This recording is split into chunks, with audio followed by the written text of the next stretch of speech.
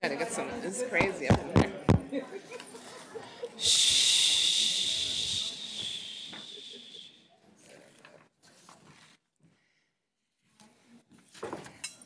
Thank you. Good morning, everyone. The November 20th meeting of the Maryland National Capital Park and Planning Commission will now come to order.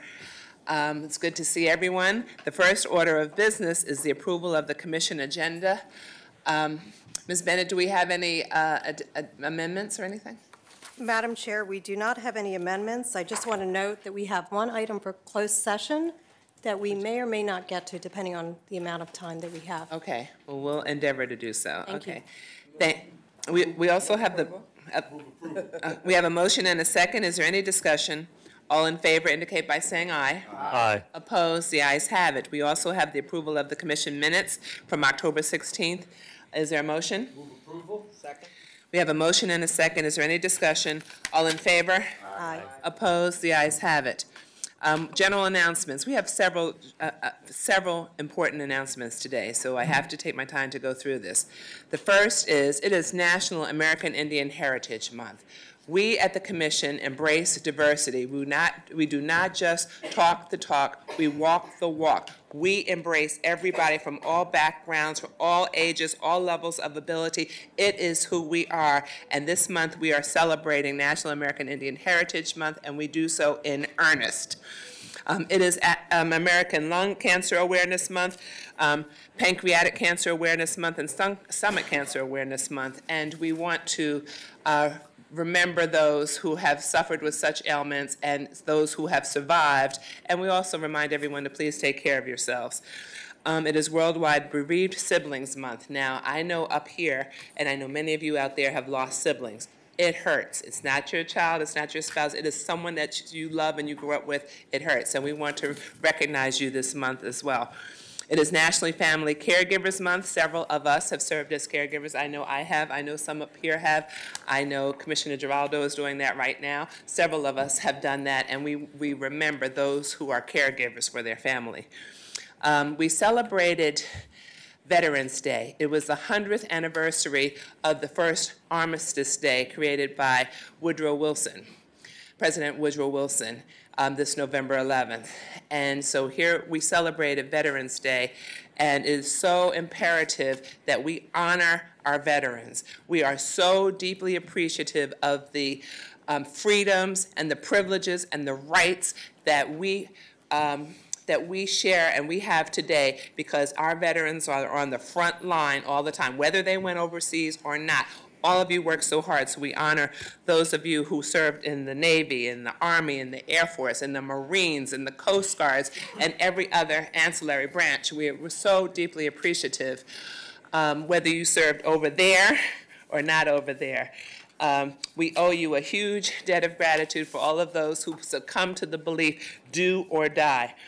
Um, and we also, uh, we, the commission celebrated our vets at a commission event and also at a senior event for those, those um, ages 60 and better. And those ages 60 and better went up to at least 100. But I, I went and I spoke to them. And, and, and for those people in particular, many of them were fighting for a country because they believed in this country, even though they didn't have the rights here. Um, but they so believed in their country. So I'm here saying that we owe every single one of our veterans um, a, um, a debt of gratitude. So can we congratulate our veterans? With, in earnest. I will also say that the month of November is Military Family Appreciation Month. Now, when we have our veterans who don their uniforms, who serve us, who fight for us, who protect our freedoms, their families are sacrificing as well. And we have families present in this room and families throughout the commission and families throughout our bi-county region who have endured sacrifice as well. They had, there were missed birthdays, there were missed um, anniversaries, there were missed school plays, all sorts of things of that nature, and plus the fear and worry and concern. So let's remember all the military families as well. Um, so thank you. I will point out also that it, uh, November 23rd is um, the Department of Parks and Recreation's Trot for a Turkey Day. That is where it's going to be at Watkins Park. They have a sneak preview of the Festival of Lights, and you get to walk through the park. You register, there's a small fee, and you register, and those registration fees go a long way to purchasing countless turkeys for families in needs. We part, we partner with United Communities Against Poverty to make sure that as many um, families as need um, will have their turkeys. And I do believe um, last year we surpassed those in need. So I think we did a great job with that. Um, we also have um, the annual Winter Festival of Lights at Prince George's Watkins Park, which starts November 29th through January 1st. The opening ceremony and employee reception is November 25th. We also have Montgomery County Parks um, Department Winter Garden Walkthrough Holiday Light Display at Brookside Gardens, also from November 22nd through December 31st. And employee preview night is on November 26th.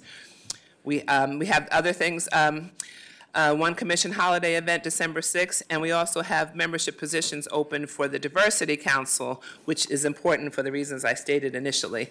So please, if, there's a website on, on um, your agenda, so you can um, sign up for that if you're interested.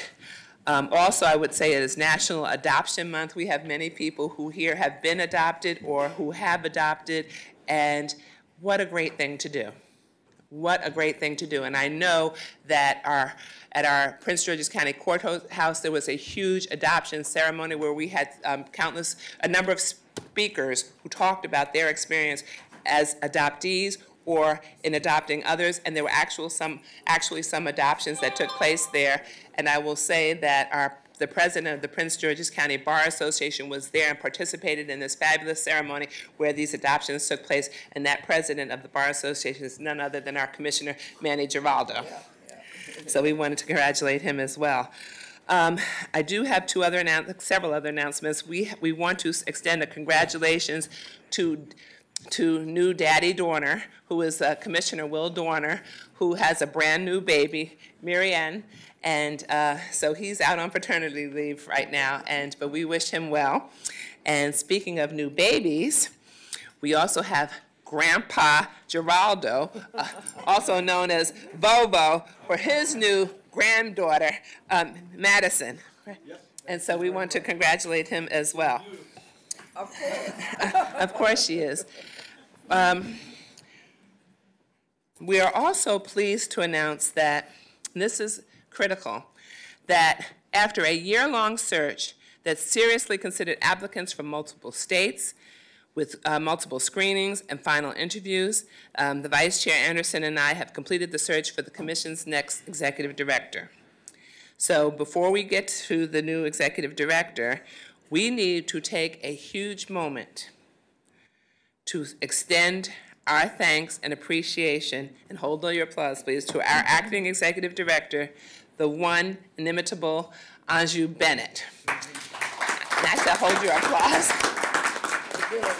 Anju, Anju graciously agreed to take the helm for only a few months while making it very clear that she was not seeking the permanent job. She worked extraordinarily hard, which she has done for 30, how many years now? And 29, almost 30 years. Okay. She's worked extremely hard, even in the midst of tough personal family circumstances. She did not slack off on the job. And that few months turned into just a little over a year, about a year. Um, she worked, uh, she earned the respect of so many people within the commission and external to the commission, and even played a vital role in the picking, in the choosing of her successor. So, ladies and gentlemen, once again, we owe a huge debt of gratitude to Anju Bennett for stepping up in this capacity and, and navigating us forward, handling negotiations, policies, and everything else that you do. Please join me in giving Anju Bennett a hearty round of applause.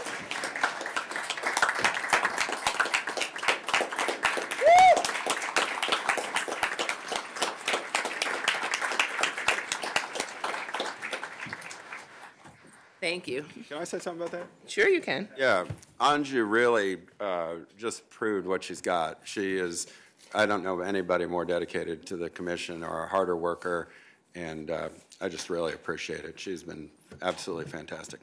Thank you, Andrew.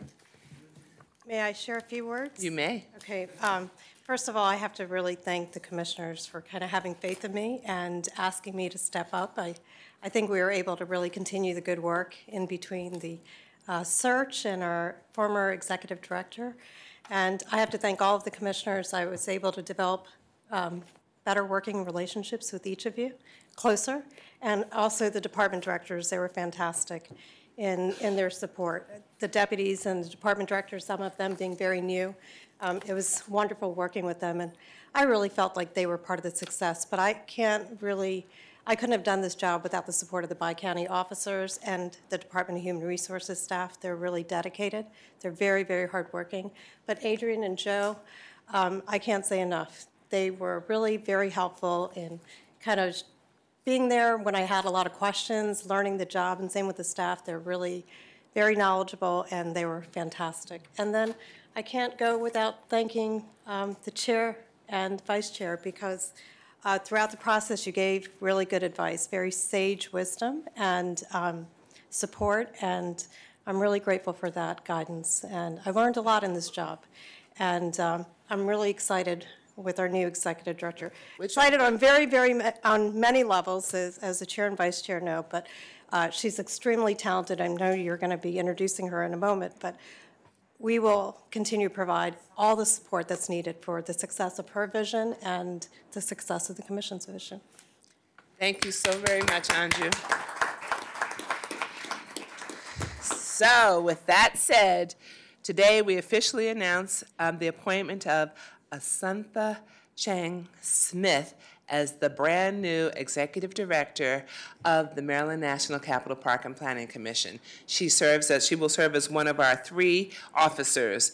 Her resume is too long, her professional experience too comprehensive to exhaust all the details, but I'll just tell you a few things about her background. Over the past 12 years, she's worked on some of the highest levels of our state government, most recently as Chief In- Innovation Officer and before then Chief of Staff for the Maryland Department of Housing and Community Development. Before joining DC, DHCD, she worked at the State House for five years as, as the executive director of the Maryland's subcabinet on base realignment and closure, better known as BRAC. In that role, she assumed frontline responsibility for managing Maryland's 3.5 billion, and yes, I did say billion, um, dollars, uh, the Dollar BRAC initiative, including creation of policies, programs, master plan, and communication strategies for the project. She had no blueprint. She devised the master plan and the pertinent steps. Per then Lieutenant Governor, now Congressman Anthony Brown, BRAC could not have succeeded without her. She also worked for Governor Glendening as a special assistant for economic development and for Senator, United States Senator Mikulski as her special assistant on projects that include White Oak in Montgomery County and Andrews Air Force Base in Prince George's County. She has a great deal of experience working in IT management and holds a certification as project management professional from the PMI. She is, she holds a bachelor's degree from Catholic University, a master's degree in public affairs and communications from American University, an MBA, Master's in Business Administration from the University of Maryland, and then completed the Senior Executives Program at Harvard's um, University's Kennedy School of Government. And she is a graduate of Eleanor Roosevelt High School in Prince George's County. Um, she's a resident of the regional district. She's um, from uh, has family in Montgomery County and Prince George's County. Is tremendously familiar with both sides of the commission, and she lives with her family in Bowie. Uh, she's pleased to have her husband Briar Smith here with her today. He is a Marine Corps vet. What what do you say? Who, what's it called? Hoorah! Is that we're probably messing it up, but that's okay. So he's with her here today and celebrating, and, and we say Happy Veterans Day to you too, sir. Um, and she has um, four children, and so commission and guests, please join us in welcoming, welcoming Asuntha Chiang Smith. We hope to get to know you better. I hope to get to know you better. Um, I have seen her in, in, in, at work in um, some of these various capacities. So, Asantha, please come on down. And, and if you can please have a seat and, and, um, and just we, wanted to say welcome to you. This was an arduous search, and we had many stellar candidates. So let me say that too. We had outstanding candidates, and it was it was difficult because of the caliber. But I think we you had the diverse background that we needed, um, both from the government side, the state side, the regional pers- district side, and, and just brought so much um, in terms of your innovation. So we look forward to working with you, and all of the other people that we know are look and at the commission are looking forward to working with you as well. And we offer you this time to share any comments you may have. Uh, Madam Chair, thank you very, very much. Um, Commissioners, I am deeply, deeply honored to have been selected as your new executive director, and I look forward to working with each and every one of you, as well as staff. Um, As Betty kind of alluded to, I'm uh, locally grown, um, and I grew up in Beltsville, and I have relatives in Rockville and Olney. So I really, truly consider myself a bi-county resident. Um, actually, I uh, have great affection for park and planning. Uh, my first job uh, was in uh, the 1980s. I was a volunteer at uh, the summer playgrounds. And uh, 20 years after that, I was working in the State House uh, for Governor Glendening and uh, worked closely with the Montgomery County and Prince George's County uh, planning departments on a lot of the land deals. And so I feel like, you know, I'm coming now full circle as your executive director. And I am looking forward to serving you, to serving the folks in the departments under you, and most importantly, the residents of Montgomery and Prince George's County. And I thank you so much for this opportunity. Thank, thank you so much. I, in looking at her background, I also wanted to point out, I mean, you, your family was dedicated to the Bi-County, to the region as well, and your mom taught both at Montgomery College and Prince George's Community College, right? Montgomery, Montgomery. Oh, absolutely, that's And- correct. And your dad taught at Howard Howard, University? He's electrical engineer, yes. Yeah, so, so he was an electric, yeah, electrical Mm-hmm. engineer, so, um, um, you are really by county proud. Absolutely, So thank you so very much, okay. And please welcome her, give her a welcome. Thank you.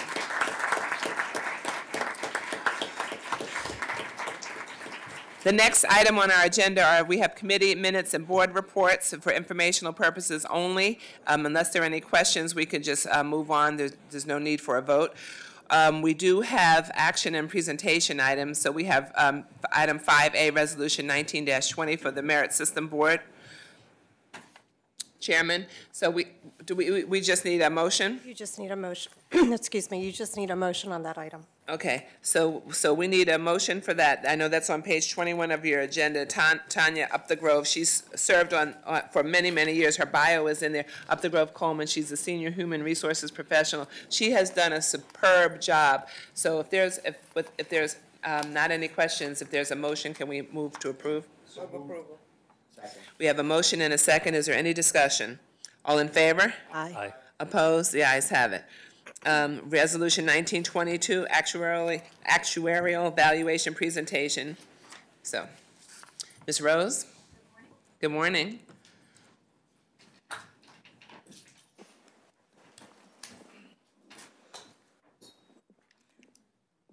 Good morning. For the record, Andrea Rose, Administrator for the Employees Retirement System, and I'm here today with the folks from Cheiron, uh, Janet Cranna and Patrick Nelson, and we're here on behalf of the board to recommend approval of a resolution 19-22, which is the employer contribution for fiscal 2021. You know, we come to you every year at this, this same time. Uh, The board conducts an annual actuarial uh, valuation to determine the funding requirements and to recommend an employer contribution to ensure sufficient assets are available to pay those promised benefits to all the members of the commission.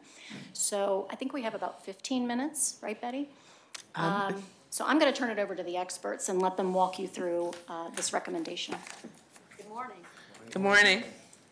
There we go. Right, so I'm gonna, we're gonna uh, go through the results of the valuation. Um, One of the things that we like to do is, um, in order to put the valuation results in perspective, uh, we like to give a brief overview of the system so you understand how we got to where we are.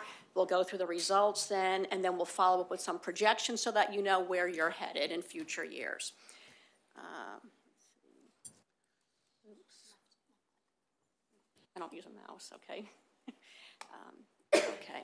Uh, This picture is, gives you a brief overview of our valuation process. Uh, The tank represents your retirement system, and uh, the goal is to fund that retirement system so that when members retire, there are sufficient funds to pay the retirement benefits for their lifetime.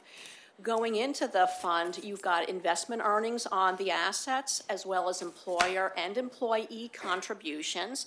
And coming out of the funds, you've got the benefits that you're paying to your members when they retire, as well as the expenses associated with running the system. Um, In the valuation process, we collect information on all the members who are included in the retirement system. Uh, We have your plan provisions, and we also are provided with asset information on your retirement system. From there, we apply economic assumptions and demographic assumptions. Uh, Demographic assumptions are things that happen to people. When we expect your members to retire or terminate, uh, how long we expect them to uh, live and receive retirement benefits. Uh, So we, all that gets figured into our valuation programs. And we also apply economic assumptions. We need to understand what your investment rate of return is, as well as what salary increases are for your members, since your benefit is based on salary. Uh, We put all that into our models, and we're able to project the future benefit payments for the system. We discount that back with your investment rate of return, compare it to your assets, and from there, we're able to determine what your employer contributions are for the upcoming year. As actuaries, we are required to uh, determine what any material risks are to the plan and to monitor those risks to make sure that, again, you can sufficiently fund your plan. Uh, One of the risks we talk about is investment risk, uh, the potential for investment returns to be different than what you expected. Um, If your investment returns don't earn at least what you assumed, then you risk having contributions going up in the future. So we like to monitor investment risk and what your investment assumptions are uh, longevity risk and other demographic risks. This is the potential for your uh, mortality and other assumptions and experience to be different than expected. Are people living as long as we expected? Are they living longer? Uh, these all get figured into our models and something that we monitor from year to year. Uh, Contribution risk is the risk that contributions will not adequately fund the system. Uh, So again, we look, to- we determine what your contributions are each year, and we monitor those to make sure that you're contributing those, uh, suf- those sufficient contributions. Uh, Plan change risk would be the risk that you amend the plan, um, and um, this would impact the measurements of the plan. So if you have any plan provisions or changes, um, are you going to adequately fund those plan changes as well? And finally, uh, assumption change risk. This is uh, similar to uh, some of the other risks, but that, you know, f- the future might be different than expected. So again, we like to monitor all the assumptions that we use in our valuation program.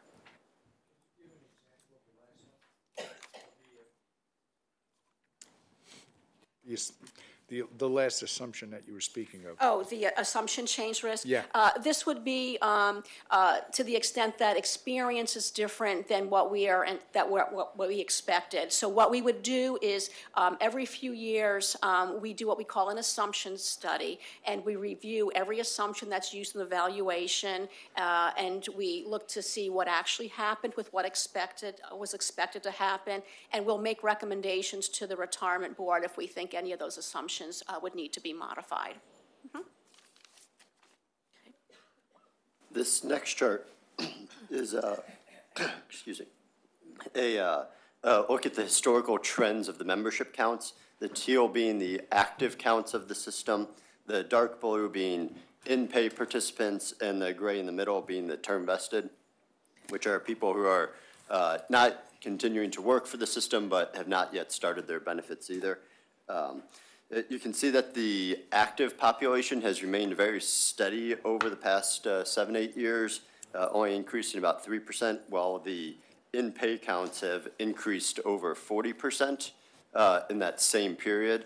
Uh, This is a maturity factor that we like to look at, um, and we look at the support ratio. It's the number of inactives um, per active participant. Right now, we're at a support ratio of 0.89, so there's 0.89 inactive participants per active. Um, An industry red zone that we like to keep an eye on would uh, put that support ratio closer to 2.5 inactives per active. Uh, So we're clearly not uh, anywhere near that. And you can see that the trend, it takes a long time for the um, support ratio to increase, but it is something that we'll want to keep an eye on in the future. Uh, This next slide is looking at um, the, the system versus the entire industry. And this is uh, a survey of large state uh, and large county plans um, within the United States, about 120 plans in total. Uh, You can see that your support ratio is significantly lower than uh, the majority of the systems in the country. We're at about the 30th percentile. Um, so this is merely for comparative purposes uh, to show that um, this system is in a, a very good position and, and not in a, a position of concern um, when it comes to uh, population trends.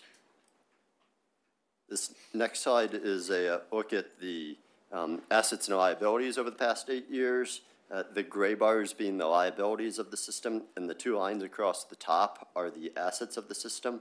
The gold bar is the market value. That can be thought of as the money that's uh, in the bank, um, whereas we actually use a smoothed value of assets, um, which we refer to as the actuarial value of assets. Um, and this helps to smooth out any gains and losses and uh, reduces contribution volatility um, as the assets fluctuate from year to year. Uh, the percentages across the top are the um, funded ratios of, uh, based on the actuarial value of assets, so the smoothed value. You can see that uh, the system has continued to improve their funded status over the past eight years, and we're currently at 93% funded. This next chart is again looking at uh, the system versus the industry as a whole. Uh, This is the discount rate, so this is the assumed, it can be thought of as the assumed investment return, uh, what the system expects to return, uh, get on their, the return on their assets. Um, For the 2019 valuation, we used an assumption of 6.85%. Uh, This is down in the 10 to 15th percentile. Uh, And when we couple that with a a 93% funded ratio, uh, this system is in very good position compared to most of the systems around the country. A very high funded ratio, uh, along with a low investment return, is a very good position to be in. And uh, here's a look at the uh, system versus the industry as a whole in terms of funded ratio. Uh, Again, at 93% funded on the actuarial value uh, basis, uh, puts us in the 85th percentile.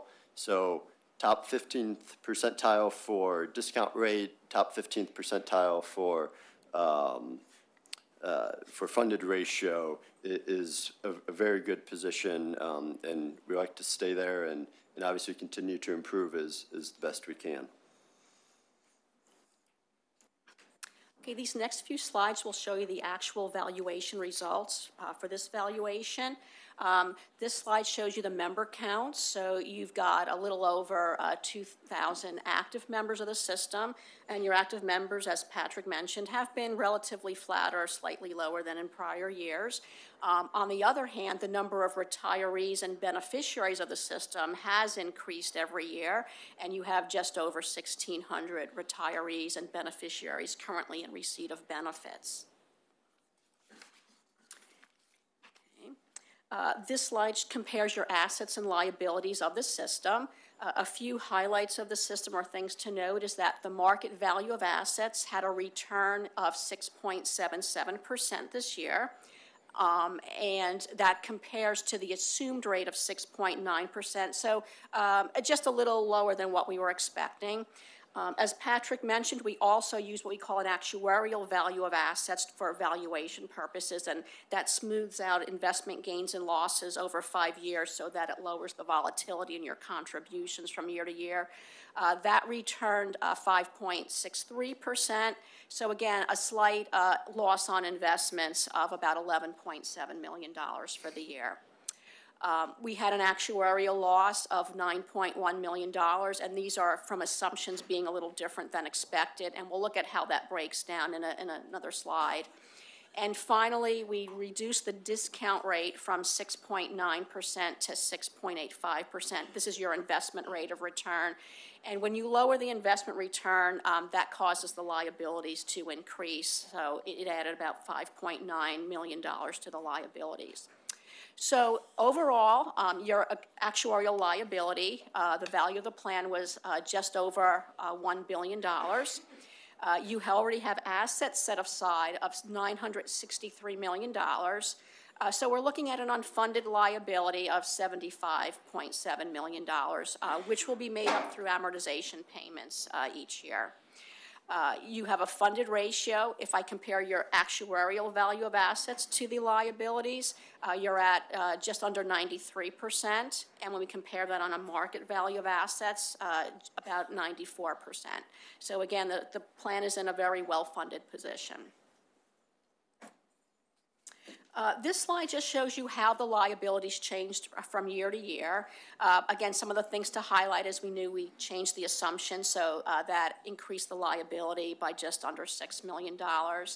Um, We, um, we, there's something called benefits accumulated in other sources. Um, It looks big, but what that means is it's something that we expected. Every year, um, we expect there to be interest on the liability, and we also expect members to accrue benefits um, for the year because they have another year of service. So, um, so it looks like it's a large component, but it's something that we do expect from year to year in our valuation.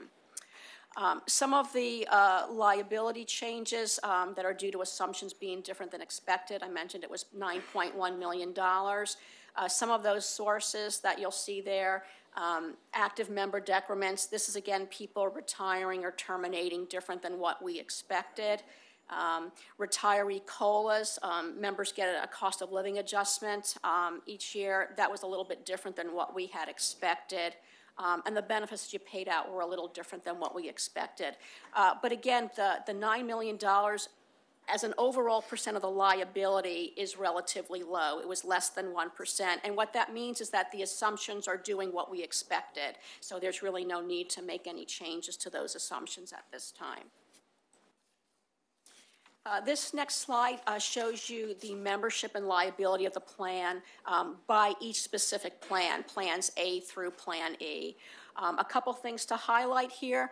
Uh, Plan B has uh, most of the active and retiree membership of the plan, and um, as such, they also have a larger portion of the liability.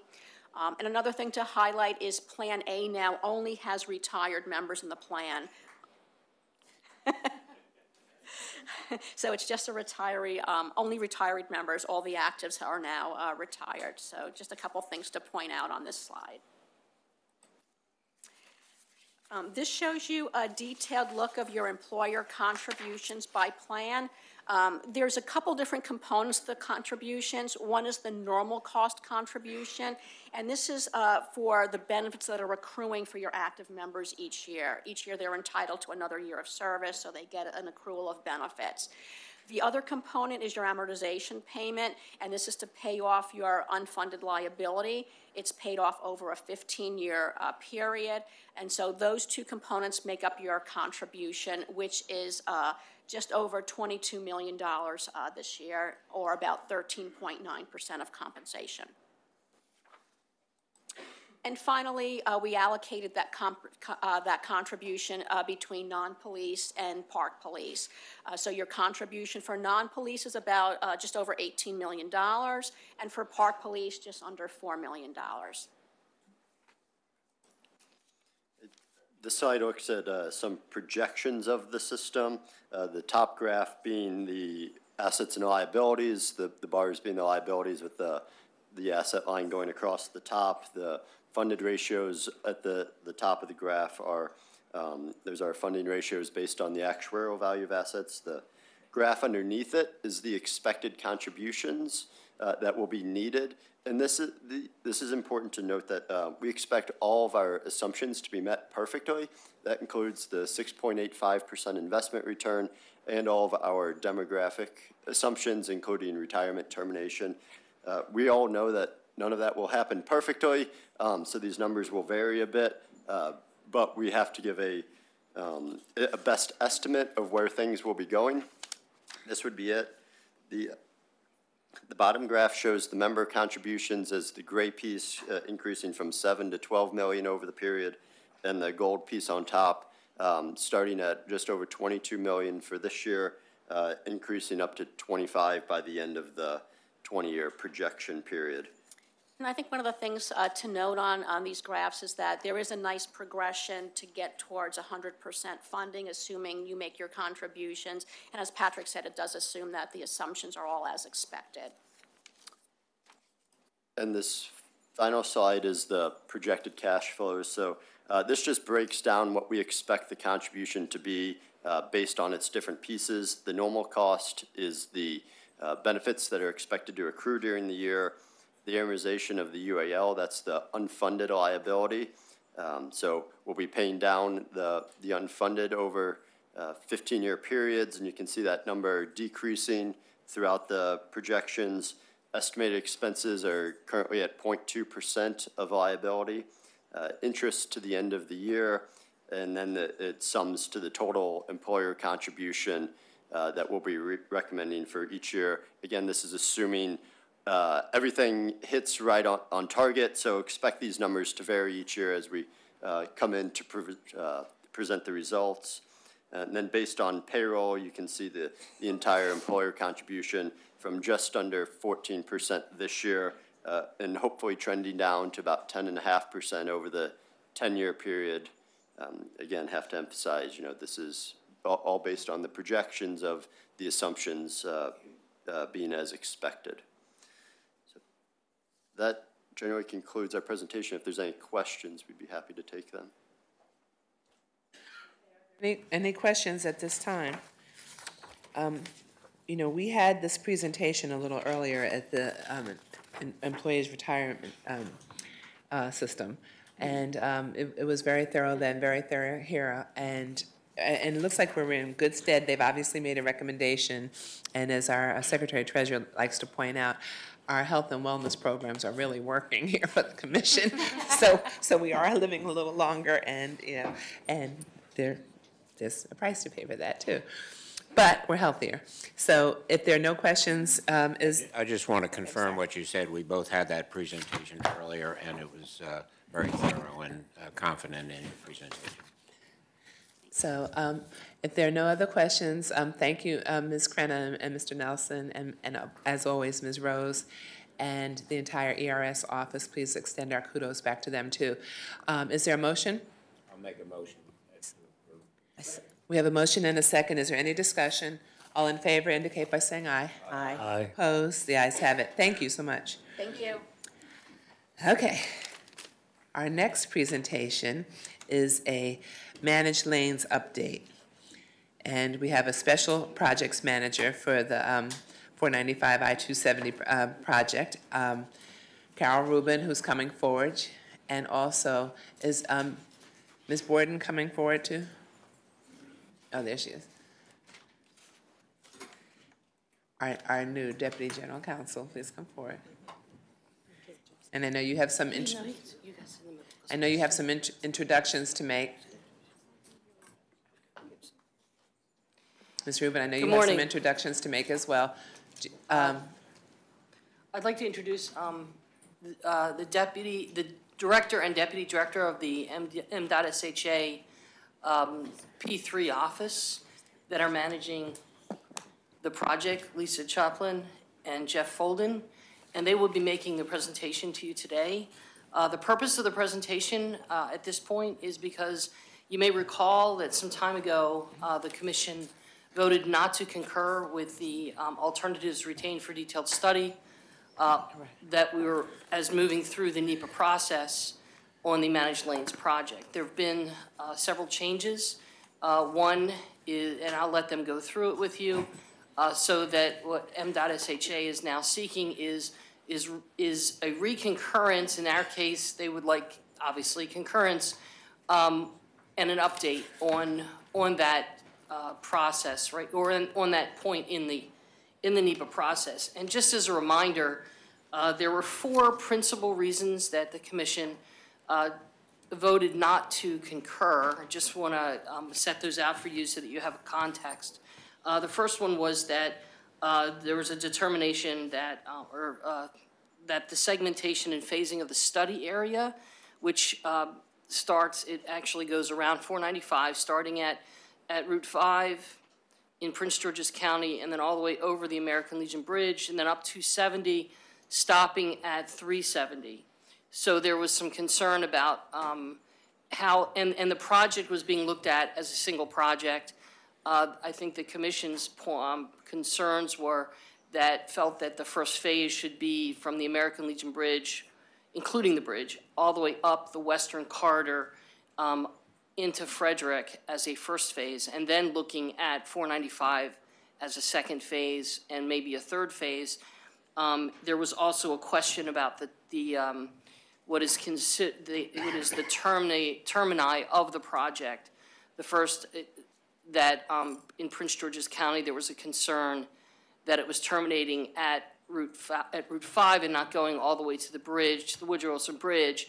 And in Montgomery County, the concern was it was terminating at 370, not going all the way up uh, 270 into Frederick.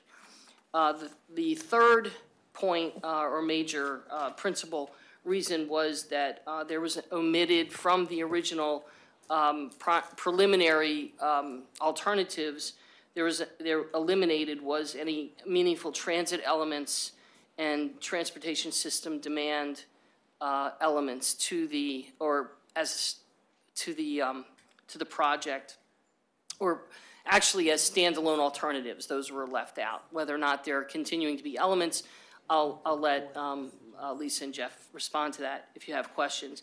And then finally, um, there was a concern that the pr- proposed um, alternatives that were moving forward had nearly identical footprints, so that the alternatives uh, were really, the, the commission felt, you all felt that they should be expanded in order to allow an adequate range of review for environmental uh, impact consideration, which is what uh, we believe that the purpose of NEPA is about.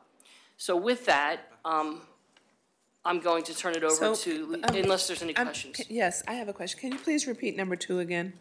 Number two was the, that the termini for the, for the project, there was some concern that in Prince George's County, the study area for the managed lane project stopped at Route 5 Okay. in Prince George's. Right. And that it stopped at 370. Okay, I On thought that was number 270. two. Oh, so the one was Well, second. one, one and two, I, I- Okay, I'm sorry, okay. when I presented it, I kind of combined Combined the them, two okay, because got they it. were That's very what- related. Okay, got it. The, Yes. the segmentation and phasing, okay, got it. Yes. That's how I missed that, okay. Thank you. Okay. And, um, okay, I'm good. Thank you. Thank you, Carol. Um, Good morning, my name is Lisa Choplin. As Carol introduced uh, me, I am the Director of the I-495 and I-270P3 program for the Maryland Department of Transportation State Highway Administration. And with me this morning is Jeff Folden to my uh, right, who is our Deputy Director. Thank you for having us here this morning to provide the Commission with an update on the P3 program. So I wanted to walk through the agenda very quickly, um, and we actually are- are expanding on, on what Carol has said. It it has been quite a while, uh, as you are well aware of, that we've been here in front of the commission.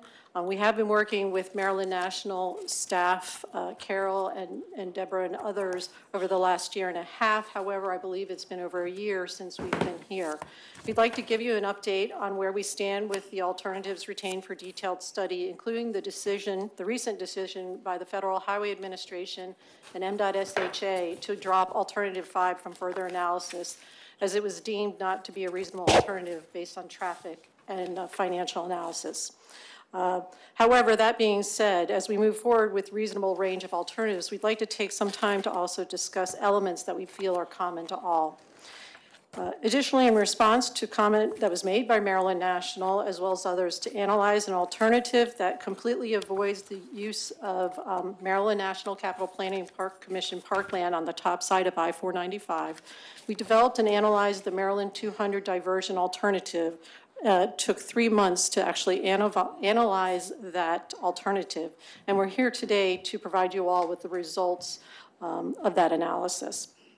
Additionally, uh, has been working to continue to refine the alternatives by incorporating avoidance and minimization measures where feasible. This includes in coordination with Maryland National staff over the last few months.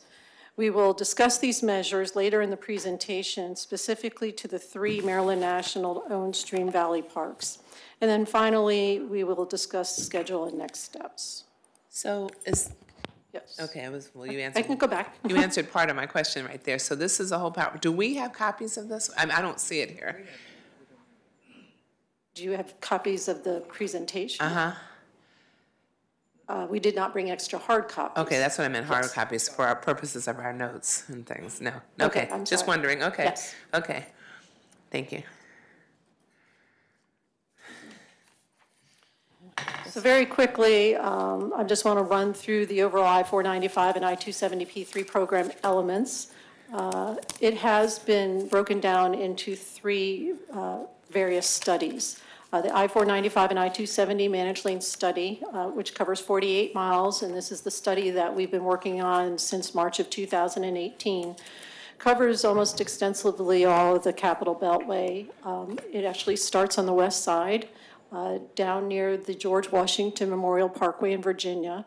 It includes the American Legion Bridge, covers the top side of the Capitol Beltway, and then ends just west of Maryland 5 in Prince George's County.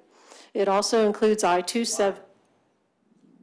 Why do you stop That's the,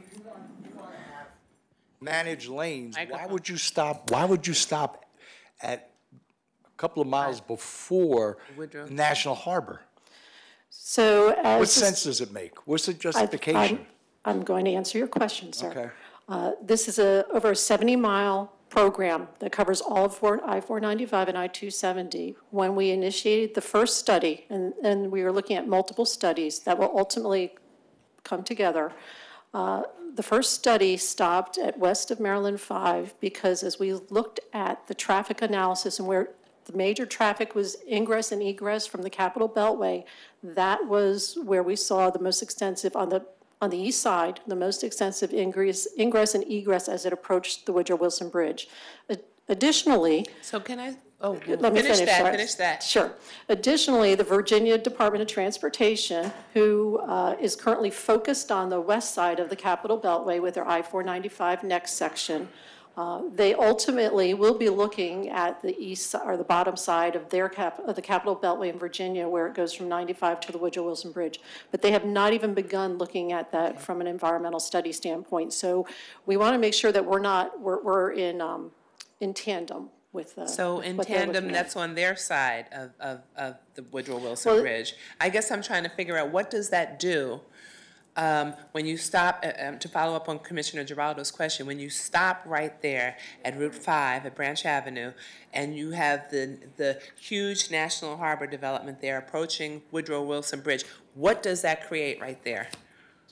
What type of, does, what type of bottleneck or problem does that create right there? There's a bottleneck now. So Anybody, did anybody visit Prince George's County or uh, Alexandria at the morning rush hour or the afternoon rush hour? Or is it just based on some makeup study? So- Because I pass there every morning and it's packed. Okay, so let me just say this, we're, we're all gonna be very, very professional here. You have a job to do, we have a job to do, and we may not be perfectly in sync right now, but we're gonna, we're gonna try to work through this. I wanna give you a chance to, to answer the questions, um, we're, without any kind of accusations or anything. We wanna give you the chance to answer questions, but understand that we have some. So, um, so, and, and, and, so right now, we had that question on the table, I think you were getting Yeah, ready to answer. Just because I, we wanna know what that does, what does that create right there? Okay. So what we do in our more detailed study we're gonna be working on is we have to tie in everything back into existing conditions. So we've got to analyze downstream of Maryland Five to the next interchange, and we've got to make any improvements in between there to ensure things still function, so there won't be a bottleneck like you're saying. But as Lisa was noting, to actually go across the the Woodrow Wilson Bridge, we've got to do the logical termini, and logical termini are not state lines. They're Correct. things like major destination points and generators, and really, when you look at the Woodrow Wilson Bridge, the seven point five miles that was done previously is really a section unto itself, and we can't just do half of it. We've got to extend into Virginia and work with VDOT really to get into Virginia and over to ninety-five as a joint study. I- I can comment on that. I've been, I've been in transportation for 63 years. I've worked at MDOT and USDOT, DC, Montgomery County. Uh, If you look at the Woodrow Wilson Bridge, that was a very controversial issue from an environmental standpoint. I remember the Sierra Club thought it should be a tunnel, but it was constructed with 12 lanes, okay? And the uh, 11th and 12th lane was strong enough to actually take metro, uh, light rail, or bus rapid transit. So when you make that argument, the Beltway is eight lanes from five to the American Legion Bridge. You get, you know, 295 comes in there, you have the, so again, that part, you're upper, be north of five, you're talking about adding four lanes to the eight lanes, and that's 12 lanes. And if you continue that towards the Woodrow Wilson Bridge, it would seem to match the 12 lanes on the Woodrow Wilson Bridge. I, I've worked for VDOT as well, uh, did talk to people there. They, you're right, they haven't, but I think the great example is the coordination that the secretary and governor have talked to the governor in Virginia. So really, it should have been a two-part thing to say that Virginia, besides looking at the uh, American Legion Bridge, we're looking at our side, and we can have this project, the P3 in Prince George's County, go all the way to the Woodrow Wilson Bridge, and they'll take their action in Virginia. So what you've pulled together on the American Legion Bridge seems to be the model for the, you know, the Route 5 to the American Legion Bridge, and that's something I would ask you to consider. Yeah, we, uh, we actually agree with you. We've talked to the VDOT commissioner and secretary, and that's discussions for next year. We're gonna start working. Now we've got the American Legion Bridge section kind of agreed with the capital boat. Well, I think if, is you know, I think the similar agreement. commissioners from Prince George Woodrow and the Wilson Bridge. community, they are concerned, and I think if that would be helpful, if you could clarify that point. Uh, We'll be happy to bring that comment and those concerns back to uh, the administrator and the secretary. It's not a new concern, though, so, No, no, I understand that. okay. But you'll reiterate We will reiterate it, yes. with yes, ma'am. emphasis? Okay. Yes. I, I think that's a concern that's been expressed since day one, since you made your initial presentation. And so I see it hasn't been given much weight. Okay. Um, As I said earlier, we're, every, we're all professionals, we want to hear what you have to say, but we also want to make sure that not only are you hearing what we're saying, that you're really listening and digesting the concerns that we're expressing as well. So, uh, we're, we we may intersperse questions into your presentation, you just have to accept that. But we will treat everyone with respect, and we're going to let you go forward with your, your presentation. Thank you. Uh, So let me just finish up quickly on this slide, which really, once again, just identifies the remaining um, uh, studies that uh, we have uh, underway and looking towards the future. So uh, I-270, is uh, part of the I-270 from I-370 South is part of the managed lane study. Uh, We have just initiated preliminary planning or pre-NEPA activities, as we call them, uh, on the remainder of I-270 from 370 up to 70. And in fact, um, last week as well as this week, we are holding public workshops uh, in Montgomery County as well as Frederick County to uh, start uh, scoping discussions with the public. Um, As I mentioned earlier, uh, our managed lane study does tie into the Virginia Department of Transportation I-495 next uh, study that they are doing. And as mentioned, uh, the announcement uh, just a week or so ago by both governors on how we will work uh, collaboratively in addressing the bottleneck at the American Legion Bridge.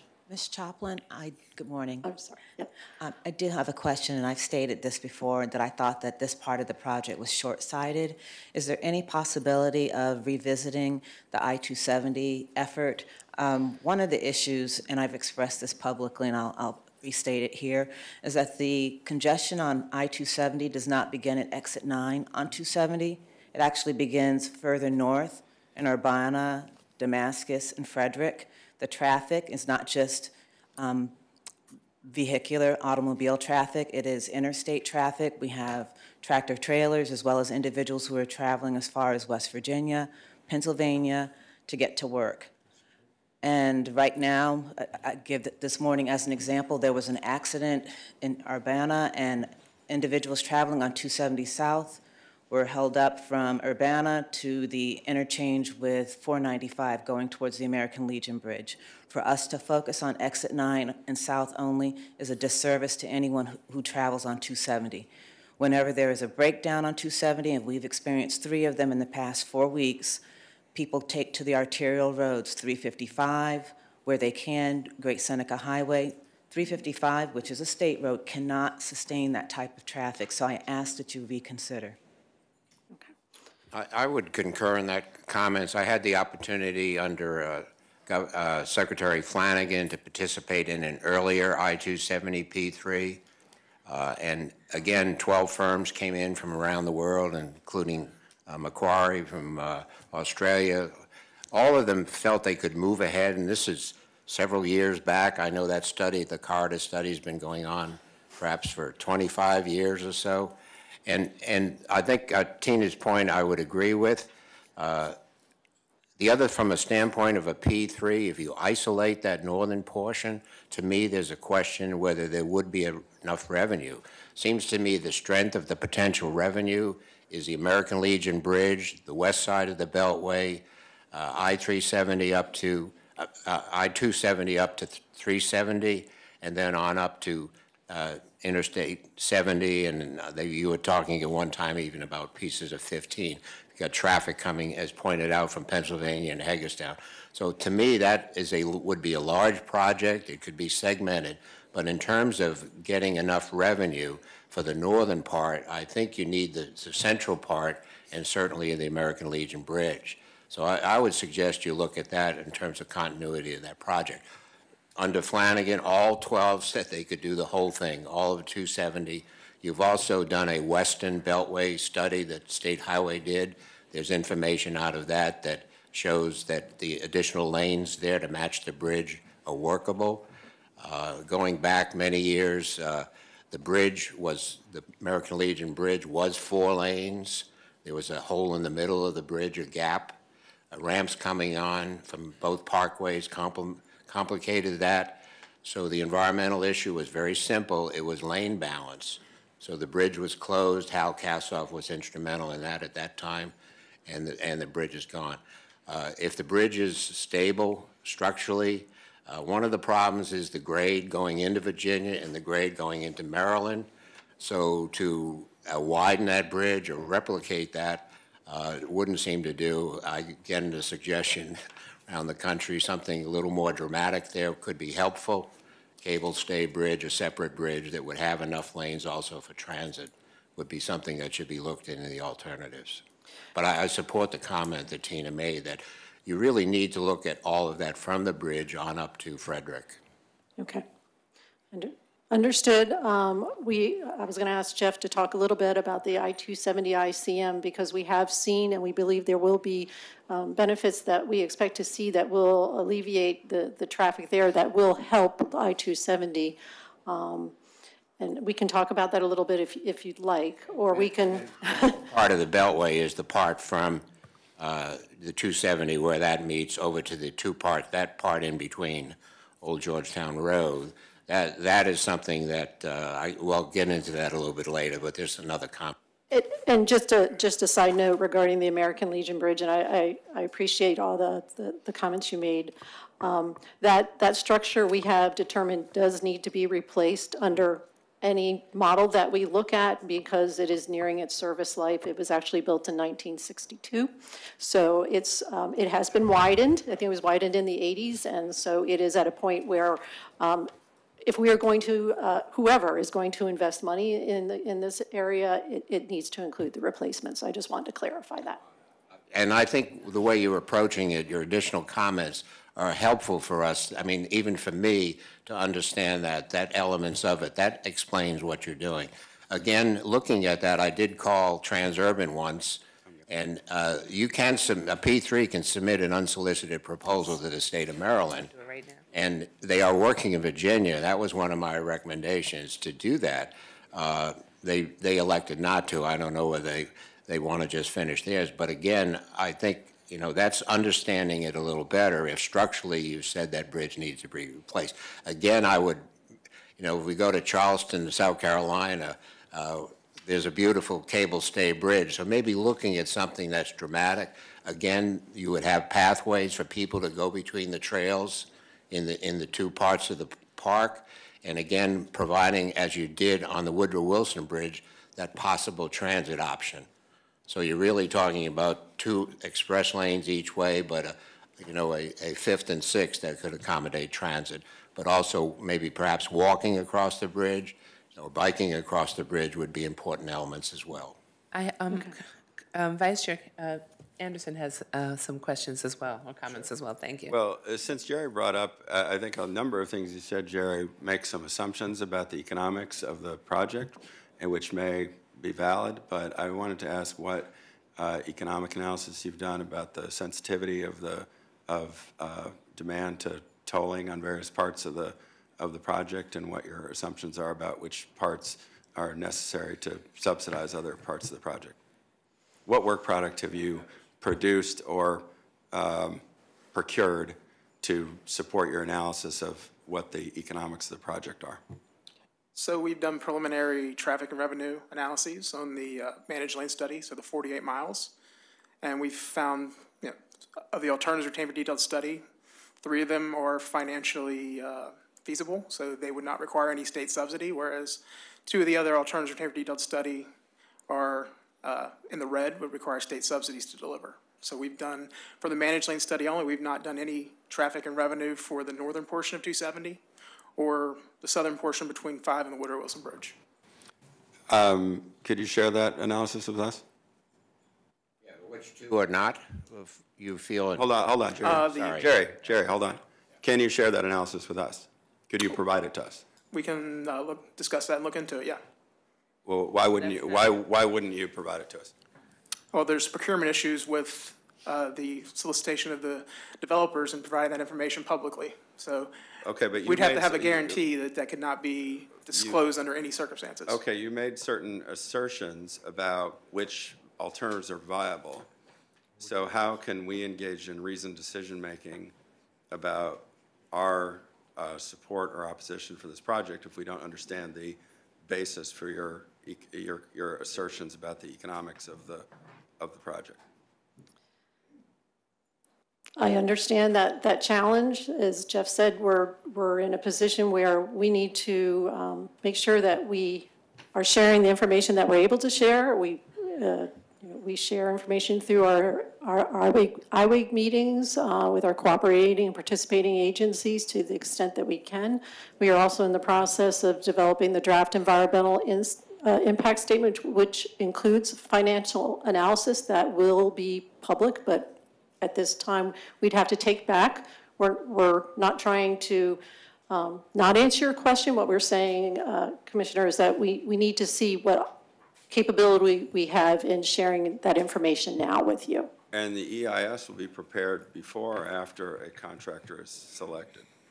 Uh, The EIS will be prepared and issued to the public well before selection of a developer. Then, then how can the economic information be com- competition sensitive if it will be available before the contractor is selected? Because at this,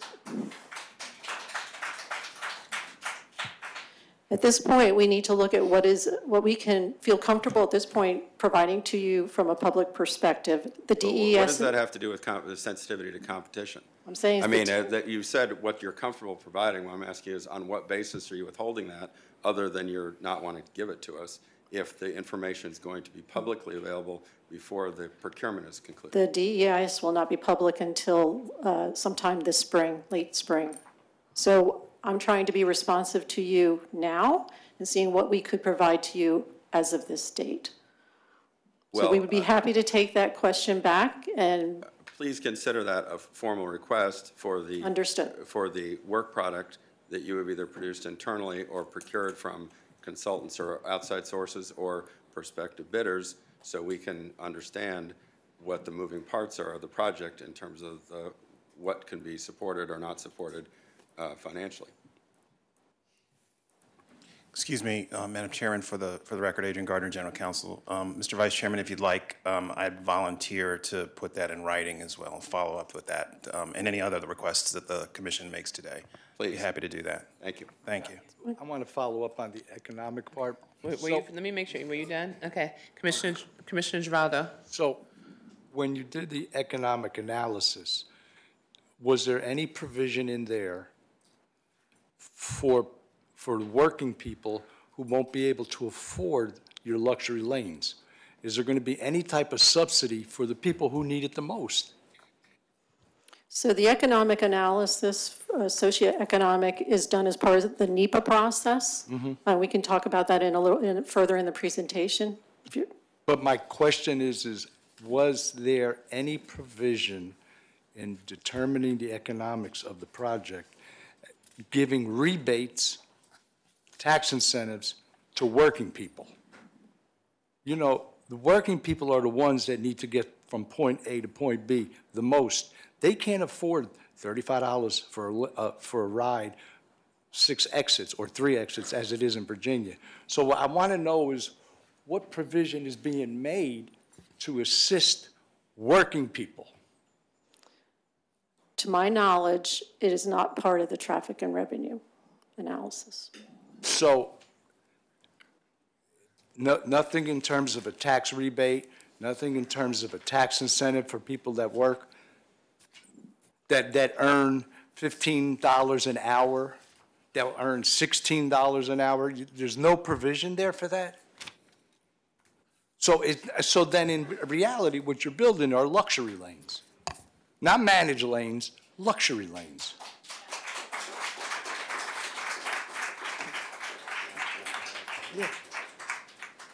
Did you, uh, well, let me ask the question this way. You did some, some revenue, and traffic and revenue analysis. We've, we've established that.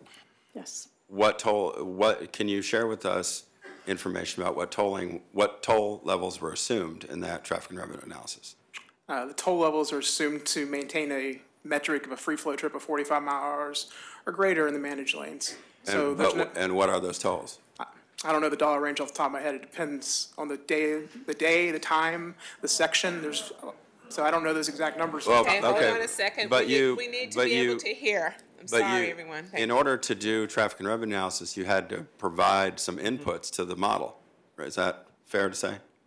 You can't do a traffic and revenue analysis unless you have an assumption about what tolls you're going to charge. Well, the revenue, the TNR model spits out the, the, uh, the tra, the toll numbers to keep traffic flowing at a 45 mile or greater speed. So the entire model is based off of maintaining a free flow speed, not in setting a toll rate and seeing what the speed is.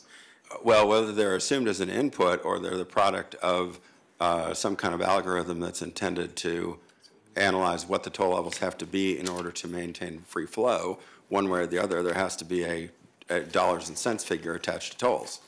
Isn't that right? Yeah, as I said, there is, and it depends on the section. so what I'm asking is, will you share those numbers with us, what the, what the, either the inputs were that were assumed, or the outputs of the algorithm that calculated what tolls are necessary to keep the lanes running smoothly? Is that information you can share with us? Separate from the question of whether you're going to give us the other aspects of the economic analysis? We will, Yes. as we said, just similar to the economic analysis, we will discuss that and come back to you with a response. And, and please, let me, let me just answer the question. Uh, Please understand, similar to you have general counsel, we have general counsel. We cannot sit here today and commit to a request um, without going back for certain, what I would consider extremely sensitive information. We cannot uh, answer that question without having a conversation without our general counsel. Excuse me, we need to be able to hear. Um, We appreciate there's a lot of um, high passion about this, and, and we understand that, and, and, for- and for very valid reasons. But we do need to hear and, and get our questions answered um, as best we can, which brings me to the, to the questions that, that um, Chair Anderson put on the table. Um, So the first one, you said you needed to go back and, um, because there, that may, the procurement issue, um, you know, has some, may have some um, sensitivities, and you'd have to talk with general counsel. The second one doesn't seem to be, to me, to be as um, confidential in nature. But I hear you saying you still need to check. But I'm hoping that when you sit here and talking to us, that you're checking in earnest and not, uh, because we, that's information that would really be helpful to us. The- uh, Thank you, I appreciate that. The traffic, and and just again to clarify, the traffic and revenue analysis, which Jeff was just speaking of, that is information that, uh, at, the- standing here today, we have not released. Um, And because it is sensitive information, it is information that could, um, we we would not want to have out there uh, there's concerns to have that out there with the potential uh, future developers and concessionaires. So we will take that back to our general counsel, but I just wanted to. And if, and if by chance the answer, eh, they cannot accommodate us, then come back with, with another way to accommodate us as be, as best they, as best he can. Understood. Can. Okay. Madam Mayor, Uh, on the current slide that Bailey. we have before us, I see that under future study, we have four ninety-five for Maryland Poly. Uh, when can we move future study to current study? Is there a time frame at all for that? We do not currently have a time frame. Again, as we, we discussed is earlier. Yeah, we- I, I, I'm- I'm being uh, very honest with you. We do not currently have a time frame for that next study. Um, It is part of discussions that would need to occur with, between the Virginia Department of Transportation and Maryland Department of Transportation and our secretaries. So I, I, we, we have not been given an indication of the time frame. Do you get a sense at all that it might happen? Oh, most, most definitely. I, I mean, I can tell you that um, from a system to system standpoint, uh, and it's not just what needs to be done in Virginia, uh, sorry, in Maryland, it includes what needs to be done in Virginia. I mean, this is a system of systems for all the capital beltway for all of I-270. Um, So it is certainly an expectation that it will be done. I just can't, I don't have a date to, to give you. Ms. Choplin, me again. I'm curious, based on what I've heard the chair and vice chair ask and your answers, how are you able to have these public meetings if you're not able to share information? And I'm not saying you need to go down to the pennies and nickels, but if any member of the public asks a question that requires a little further analysis, what's your answer? It depends, appreciate the question, it depends on where we are in the study. So for example, the um, I-270 portion of the, the pre-NEPA activities that we're doing from I-370 to I-70, we just, we're not even officially in NEPA yet. So we, the public workshops that we're holding right now are really just to go out and ask the public what, um, to voice their concerns, their needs for that portion of I-270. On um, the managed lane study, over the course of the year, almost year and a half, two years now, that we have had an active uh, NEPA study, depending on where we were in the study is the information that we share with them and the- and soliciting the feedback from the public. So it really depends on where we are in the, in the study. With the draft environmental impact statement coming up uh, next spring, we will also be holding public hearings on the managed lane study. Um, And at that, when we issue the draft environmental impact statement, that will include um, information uh, that we, all the traffic analysis, technical reports. So it'll include traffic technical reports, reports, noise technical reports, um, environmental, socio-economic. So it really, and at that time, we will solicit feedback from the public on those, uh, on that document. So it really depends on where we are in, at what point in the study. Um, It's very uh, iterative and long process. I appreciate your um, explanation. I have to tell you, as a member of the general public, if I were not sitting as a commissioner, I would have no confidence in what you just told me, based on what you just shared with the chair and vice chair.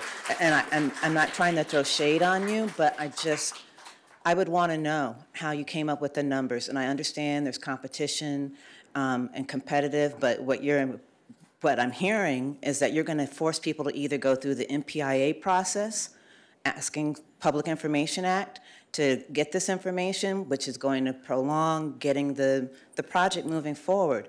I, I, I got to echo, restate what the chair and vice chair said, figure out a way to get that data out. I assume then that Ms. Rubin and, oh gosh, uh, Ms. Borden, that you have not done any due diligence on the information that's being pre- presented today. Well, Uh, You've not been able to do so. Is that a true statement? We, we have not gotten the technical reporting behind what is in the public, uh, the uh, presentations that SHA has given to us. We've asked for a number of technical reports, including OD data, logical termini study, but we have not gotten anything like that. Okay. That's correct. Perhaps now would be a good time to ask what uh, information you've asked for, and ex- if you could just, I don't need, know know that we need every detail, but you said origin, destination, logical termini. What, what else? I I understand CA- CAD files? What else is? Yeah, we what have other- What other data requests are on the table from us that have not been provided? Um, and they, they, if I could clarify, most of them have been verbal requests during meetings that we've had so that we could follow up. We haven't put a, a, a formal request in writing yet. Uh, That's not quite Isn't- true. Oh, I'm sorry.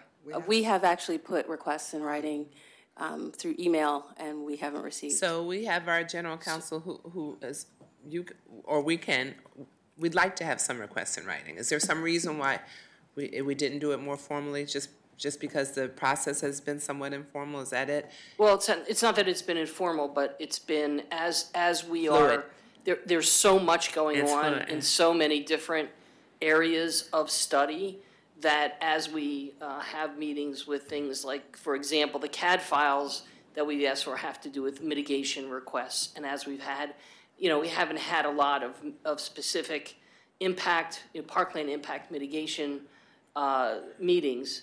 So as we, in those meetings, we, we've generally expected that those would be followed up with the information we've asked for.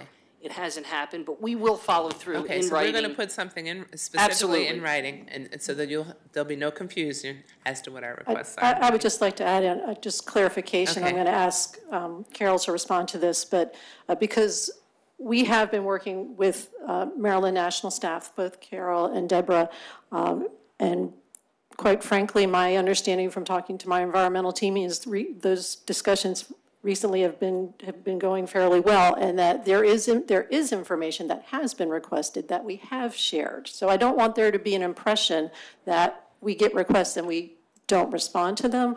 My understanding that there is information regarding, uh, I know we've had some discussion about property um, differences or whether uh, Maryland National property or other uh, uh, property, and, and my understanding is that we, we have been forthcoming So in providing saying- that information. You're saying you were able to provide some responses, some information, not all? I just, I just want to clarify that. And, and I'm sure, that- hold on a second, I'm sure that uh, Ms. Rubin, I see Ms. Rubin nodding her head.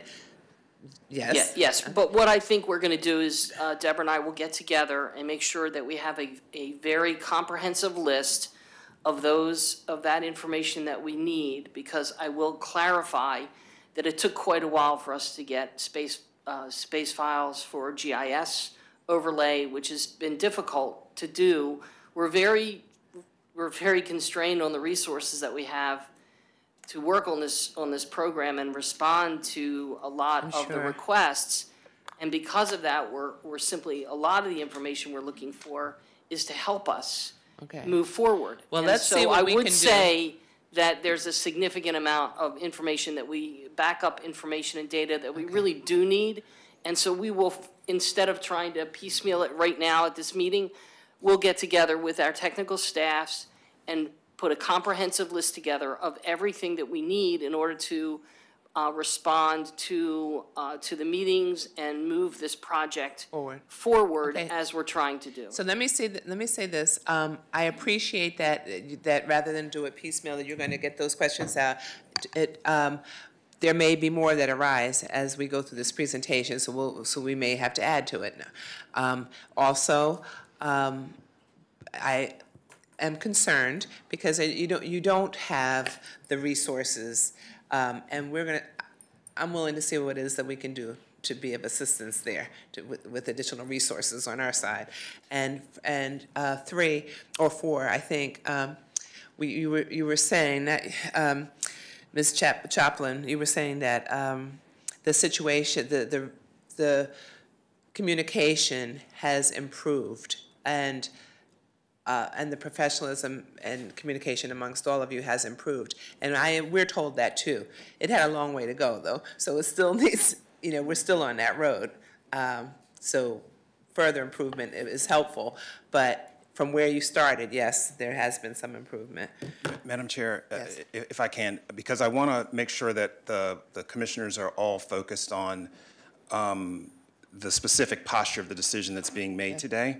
And yes, I think that we'll definitely handle these data requests, uh, but in, but to connect it to the decision that's being made, you're being asked to reconsider essentially your decision to not concur with the, with the um, uh, previous structure of the yards. I just want to make sure that I try to get it Well, we, we believe that, but we're looking for the information that we need in order, if. if- Precisely. To, to even consider changing that position. Well, Madam Chair, that's exactly what I was going to sort Okay. of point out, because to some extent, and, and in this conversation, I did not want to miss the fact that, yes, Okay. we'll complete the list of everything. Okay. But One of the things that you should know that is of serious consequence is the information that's necessary to understand the stormwater management implications for our Capper Cramton properties.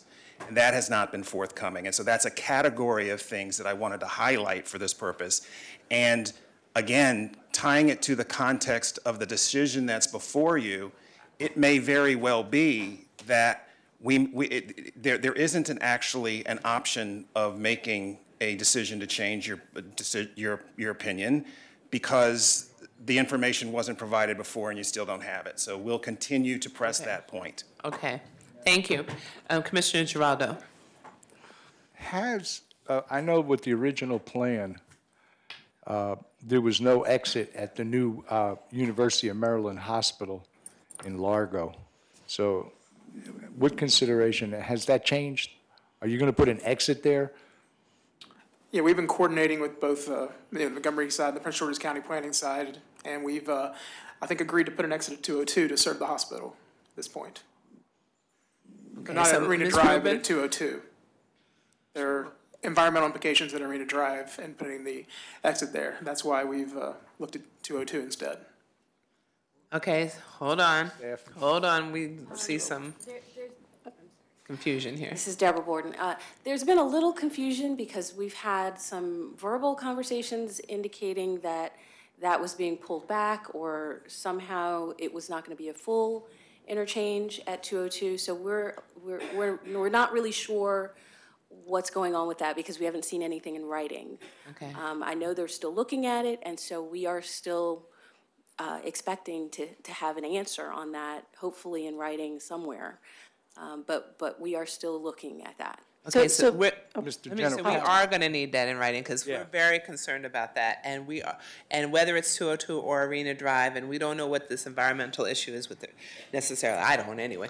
Um, but there has to be an exit for the new hospital. So, so let me just maybe further clarify that. So over, um, I don't know, maybe the last six months or so, uh, maybe more, we've been working with Montgomery County, Prince George's County, both the, the Departments of Transportation, Maryland National, in looking, what we say are direct access points around all the managed lanes study. And so we looked at that independently first, and then we went out to Montgomery County um, DOT, we went out to Prince George's County DP, uh, DWT, we went to Maryland National and solicited their feedback, and those are some of the comments that we received. We then started looking at those particular areas, uh, looking at them from a traffic analysis standpoint, from an environmental analysis standpoint. So we're still doing that effort. So um, at this point, we've identified plus or minus, I think, 26 access, direct access points,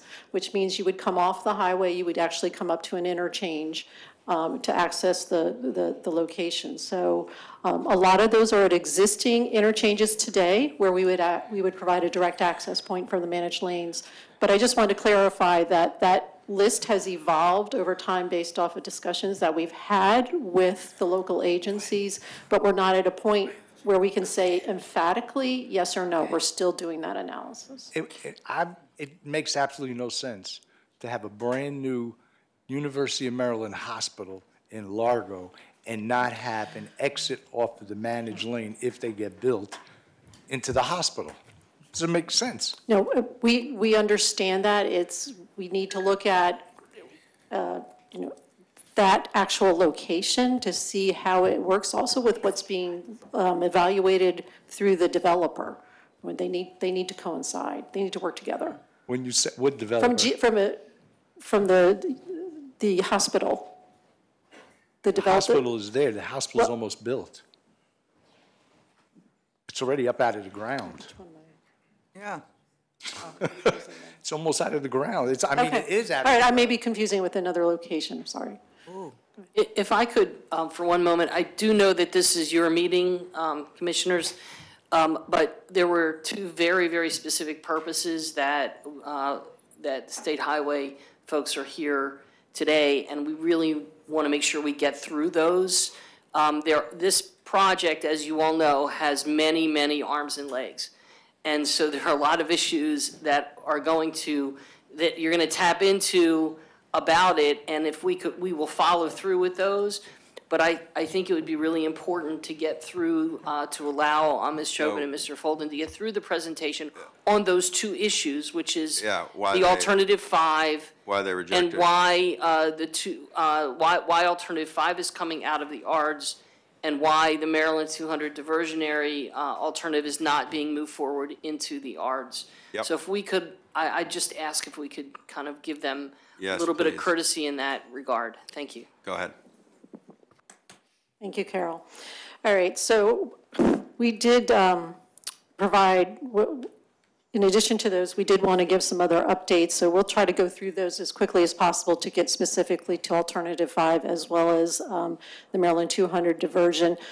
We did want to, just since it has been a long time since we were here, we just wanted to remind um, everyone about the, the purpose and need for the managed lane study, which is to focus on, obviously, the congestion along the Capital Beltway and I-270 and looking to improve trip reliability uh, and, and enhancing existing planned multimodal mobility and connectivity. And we do have, a portion of our presentation does talk about the work that's been going on to to show uh, from a transit standpoint uh, the benefits that we see in this managed lane system.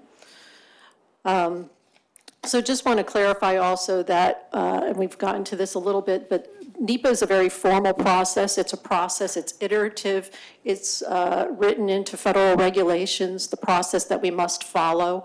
Uh, And so uh, the purpose and need that we've established is the foundation of our environmental impact statement. Uh, It's key in determining uh, the range of alternatives that we look at.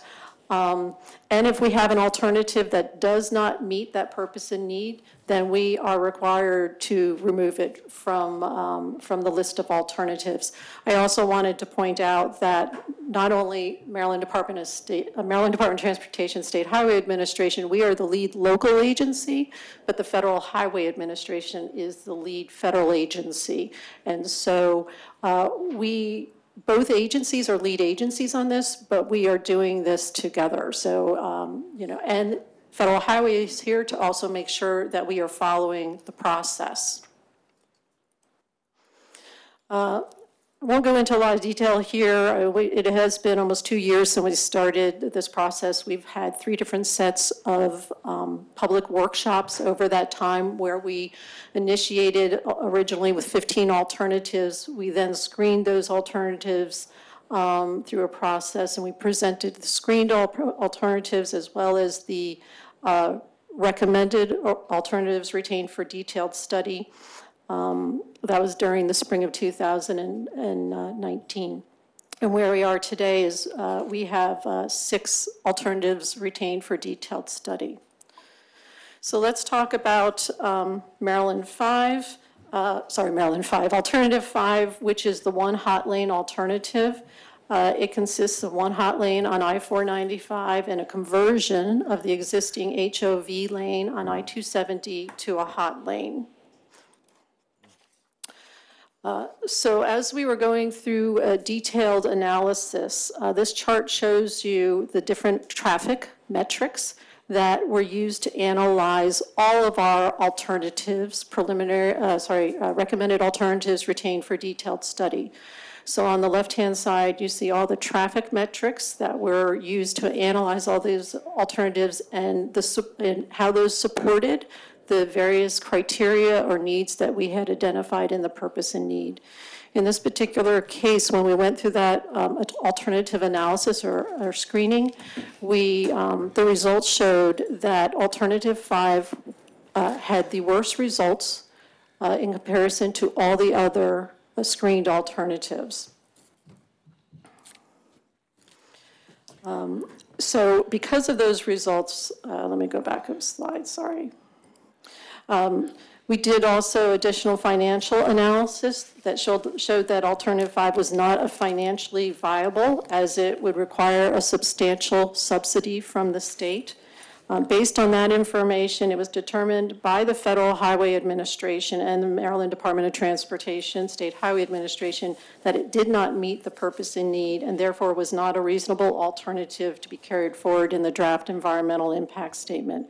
So let me emphasize that again, that as we looked not only at this alternative, but we looked at the other alternatives, we, we uh, looked at at the traffic analysis and how they fared.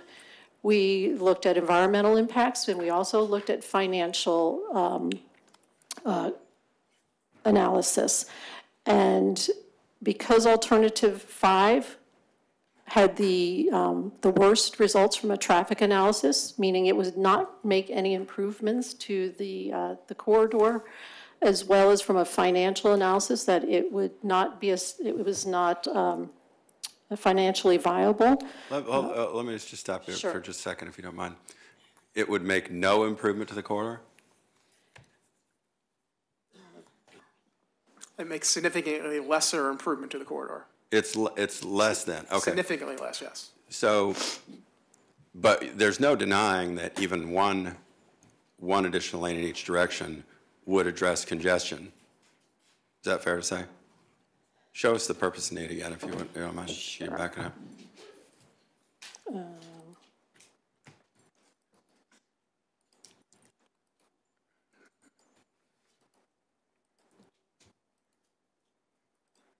One more slide.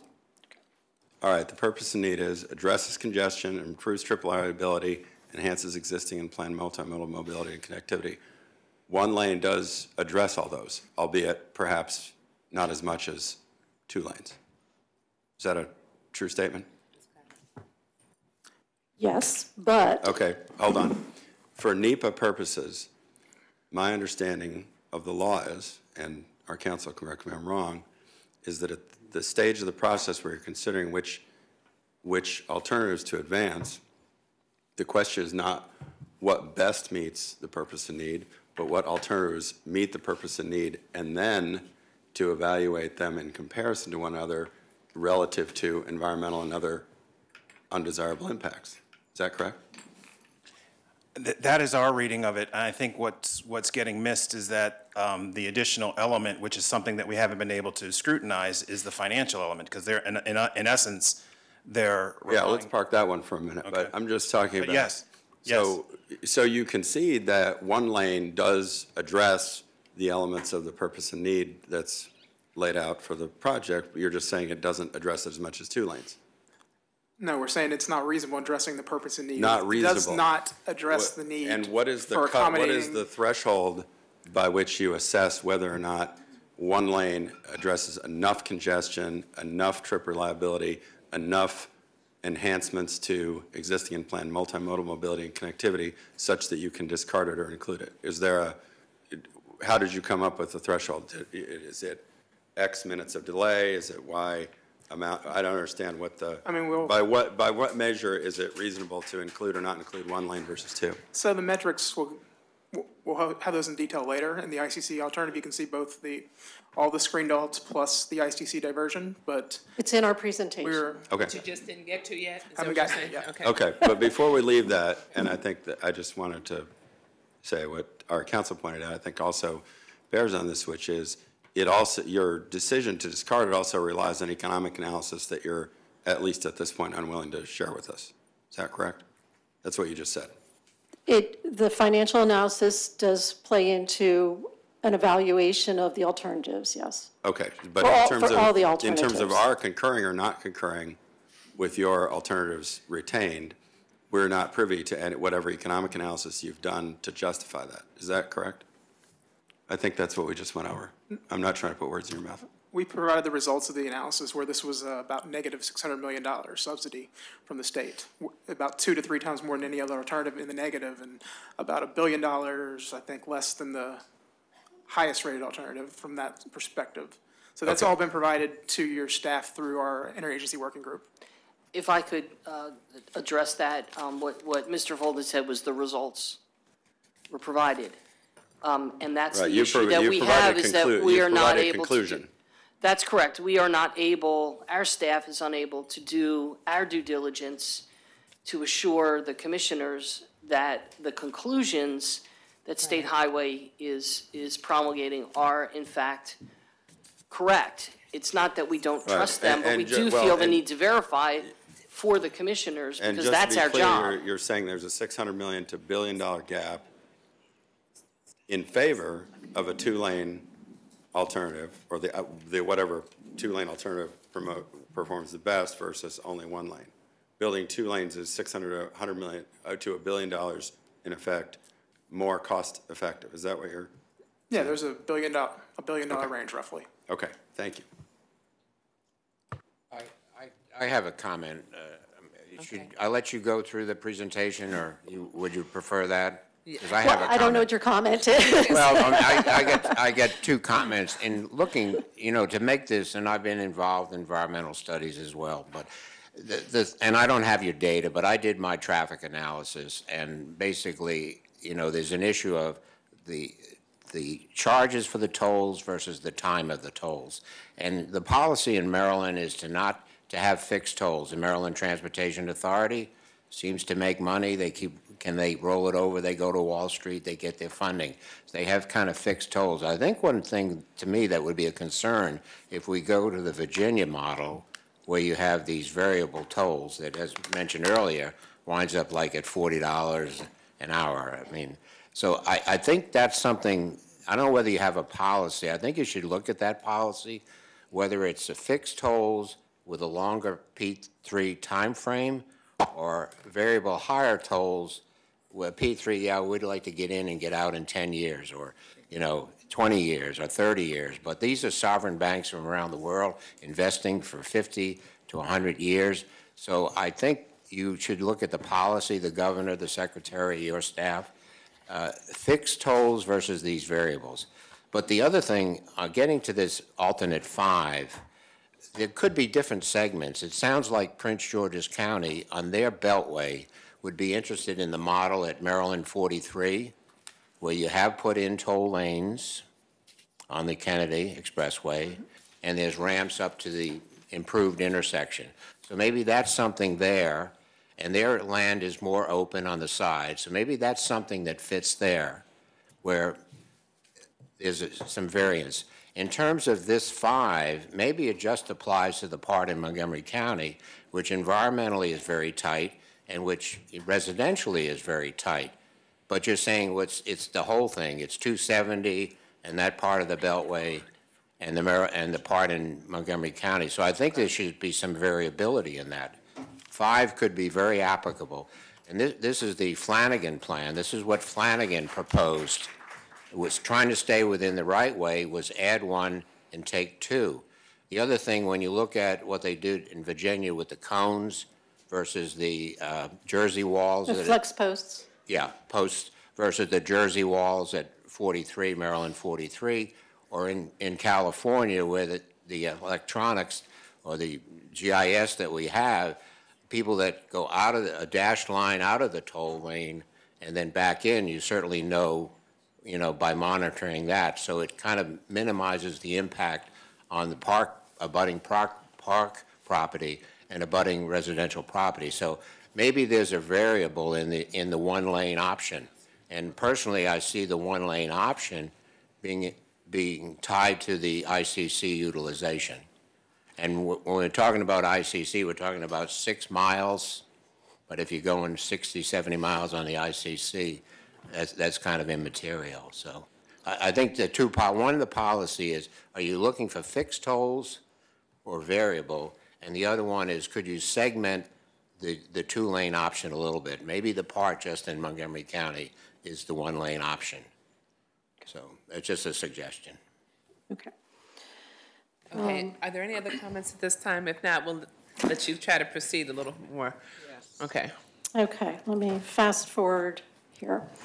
Um, So as we've continued in looking uh, at the alternatives retained for detailed study, and this is tied to Visualize 2045, um, the National Capital Regional Transportation Planning Board's uh, seven aspirational initiatives, uh, which I-495 and I-270, uh, as well as uh, VDOT's um, uh, program is part of it under expanding express highway network. We did want to, you know, this plan is a regional plan. It is, it covers more than just highway improvements. Um, And on the I-495 and I-270 managed lane study, uh, it is addressing multiple initiatives uh, aside from the expansion of the highway.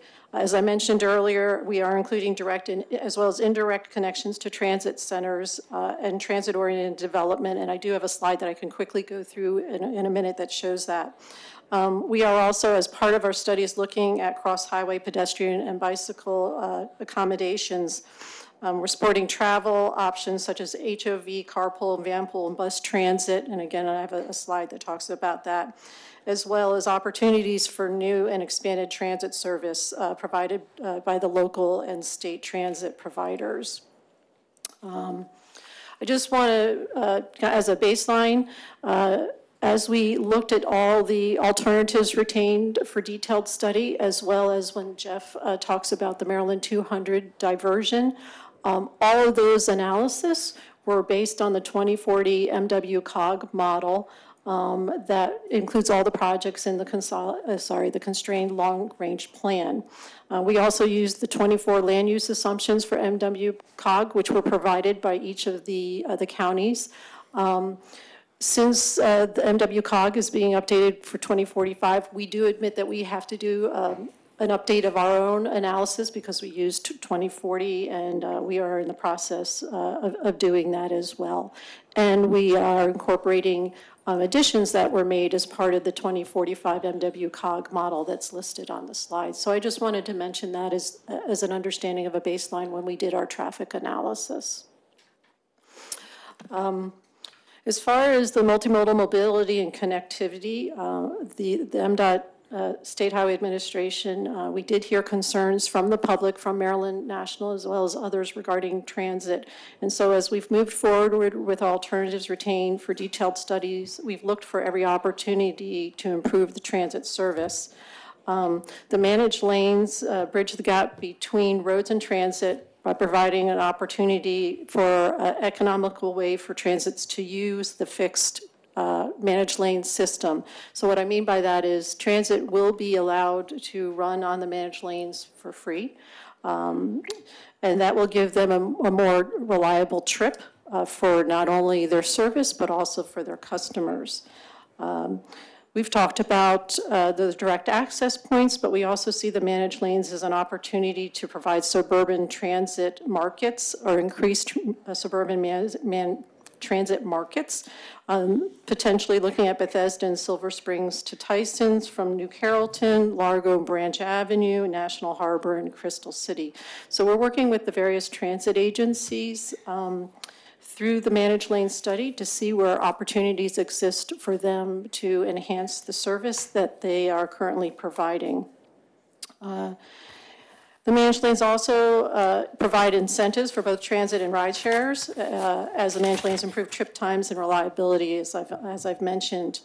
We're also, through this effort, looking at carpooling and existing um, park and ride lots and how we can um, provide uh, better uh, connections through the direct uh, access points on the managed lane system.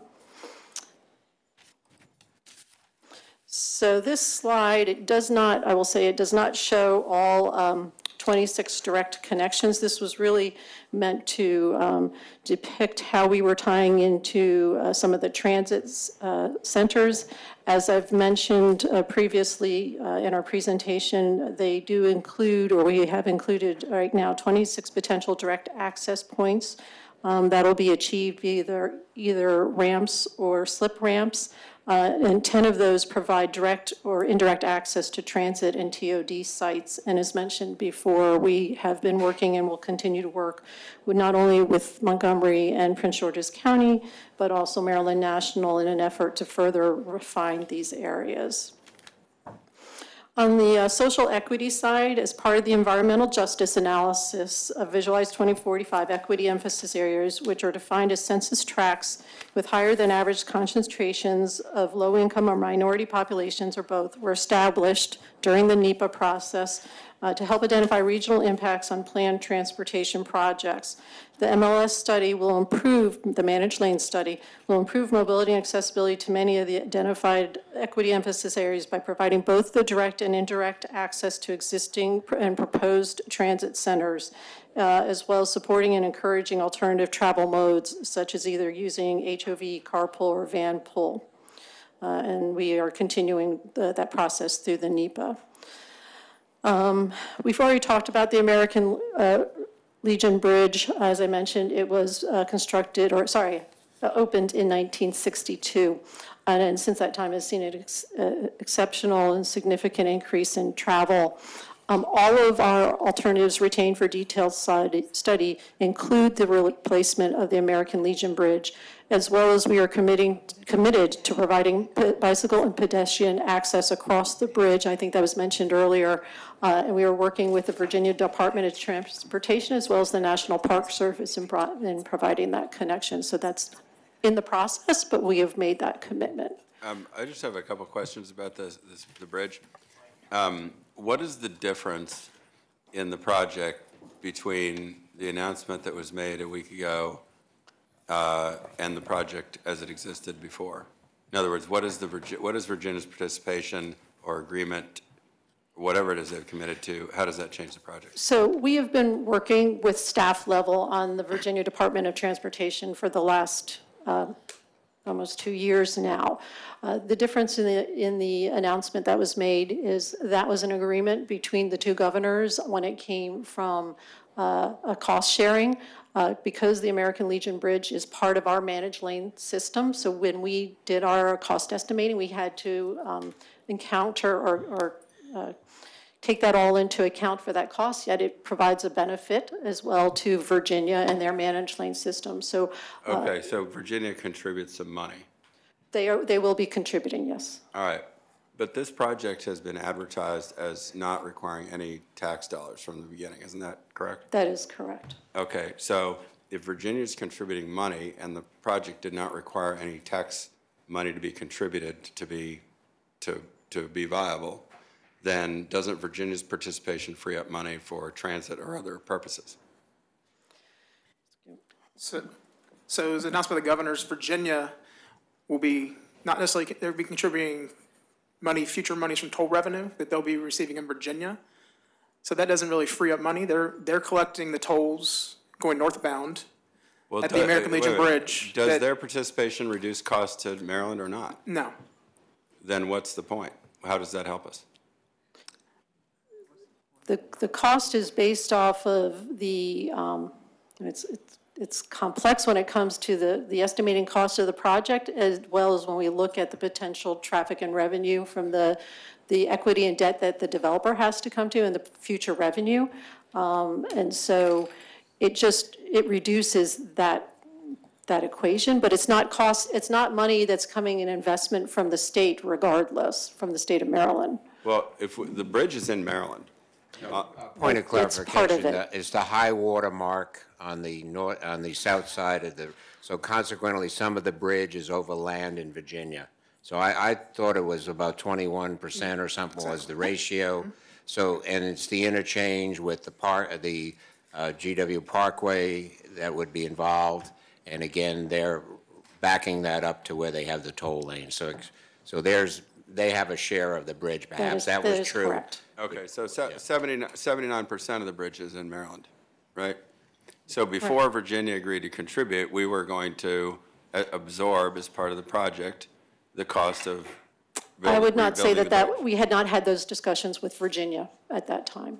Mm-hmm. Okay, but your assumptions about the cost of the project prior to Virginia's agreement was that the toll revenue that we would collect, that we would have control over Maryland would be sufficient to pay for the bridge.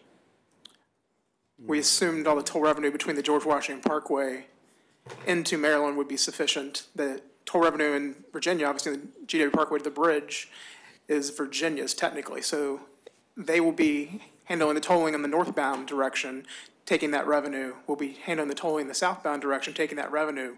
In the end, it's all no cost to the Commonwealth or the state of Maryland.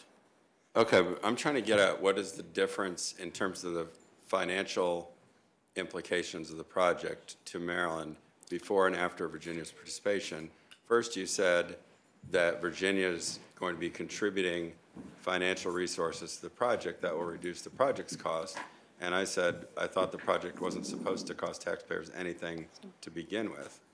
To which you then said, I'm not sure what. because it's not it is not a cost to the state of Maryland or taxpayers because the developers come with the debt and equity uh, to do the construction, So does that mean, that- operations that, and does that maintenance. mean the, that the P3, prospective P3 bidders can expect to make more money on the project because Virginia is making a financial contribution? You've just said that Virginia's participation reduced their kicking in money. I'm asking who's the beneficiary of that money and why that money is not available to fund transit or some other purpose. So our original analysis assumed the tolls in Virginia were part of our overall analysis. So They you are kicking in, assume- they are so kicking you in any tolls in Virginia. They are kicking in the same thing we've always said. So you assumed Virginia was going to give us their toll revenue Correct. before, ah. Well, it's a good thing you've got agreement from Virginia, isn't it? Yes? Uh, uh, don't, please don't applaud or, or laugh, whether you agree with me or not, we just don't, no applauding or booing. Okay, let me do this. Um, we may have other comments, but we are, we now are at the point where we have some time constraints. So we have, um, so we may have some quorum issues shortly, so. We what we are you right need? at the point in the, in the presentation where Jeff is going to walk through the Maryland 200 diversion. Okay. And then- that show, that will also show the, um, the evaluation that was done as, the- and it includes um, and I'm- alternative. I'm not sure we're gonna get to a vote today. Okay, okay, okay. That's, that's fine. Okay, so, all right, all right, um, okay, Jeff. And it's Folden or Holden? Folden with an F. Folden, okay, thank you. Uh, So the development analysis of the 200 diversion alternative was completed in an effort to be responsive to agency concerns and comments about evaluating an alternative that avoided the sensitive resources along the top side of the Capital Beltway. So that, those agencies included the National Capital Planning Commission, the respective departments of transportation of Montgomery and Prince George's counties, and Maryland National Capital Park and Planning Commission staff. So after we collectively agreed to the scope with the, all the agencies, we took a hard look at the 200 diversion alternative over a three-month period and analyzed it to the same level as the screened alternatives. The analysis was done to determine if the 200 diversion alternative met the transportation purpose and need of the managed lane study and should be carried forward as a reasonable alternative in the draft environmental impact statement.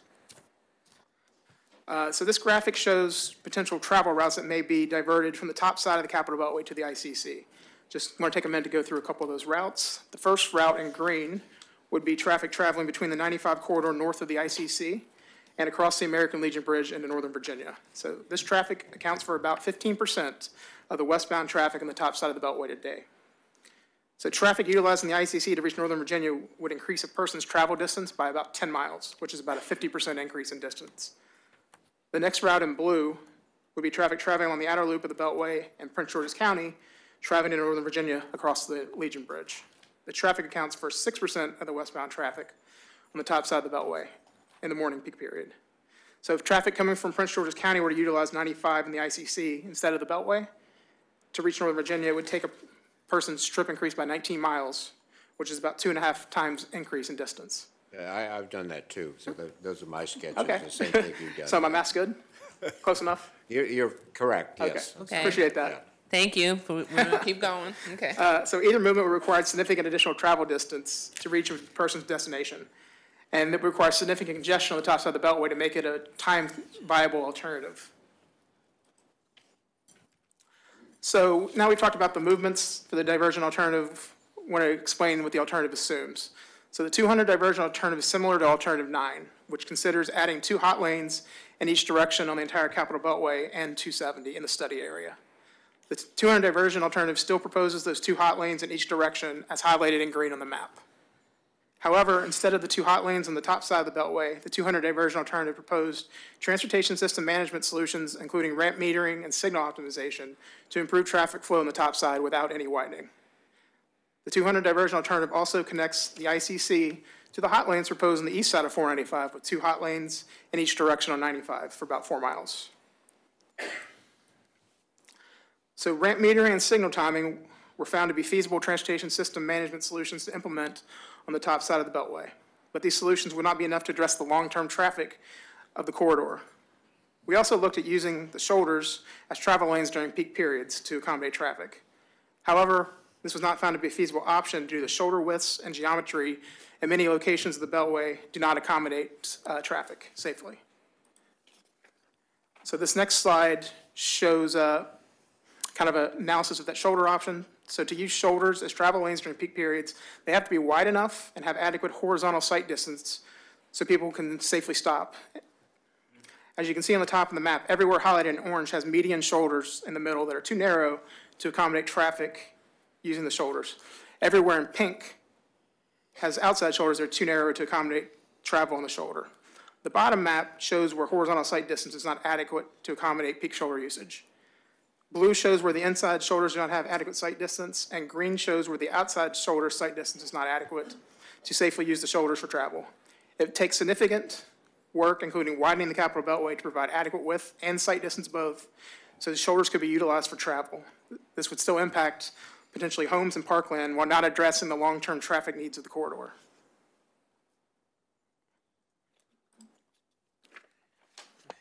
So based on the results of the 200 diversion alternative performed, it, the 200 diversion alternative performed the lowest or second lowest when compared to the screen build alternatives on all but one metric. So I just wanted to take uh, a minute to highlight a few of the metrics. So at the system level, the 200 level, excuse me, the 200 diversion alternative barely provides any benefit compared to the no build. You can see the reduction delay is about 3 to 7% in the morning and the PM peak. So this accounts for all vehicles in the system, and that includes all the general purpose lanes, all the managed lanes, all the ramps, and all the cross streets within the interchanges. So the metric of travel time and speed, the 200 diversional alternative again ranked last, with the lowest average speed in the general purpose lanes compared to the other build alternatives. So this table here shows only the general purpose lanes during the peak hours. It's also very important to note that the hot lanes on the inner loop would not achieve a 45 mile or minimum speed required by federal due to the congestion on the top side of the beltway. So as this alternative does not meet federal requirements, it's not really considered reasonable. density and level of service. So traditional traffic analysis measures level of service. Freeway segments are rated failing or level of service F once they exceed a certain density threshold. The 200 diversion alternative will result in the highest percentage of failing lane miles in the study area. And I want to note this data includes both the general purpose lanes and the managed lanes. So next is travel time index. And what travel time index is a metric that evaluates trip reliability.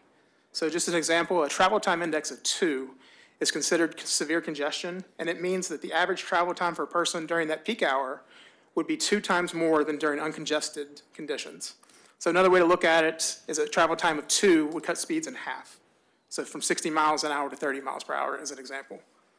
The 200 diversion alternative has the second worst travel time index amongst the screen build alternatives, and does not provide a reliable trip option on 495 between 95 and 270.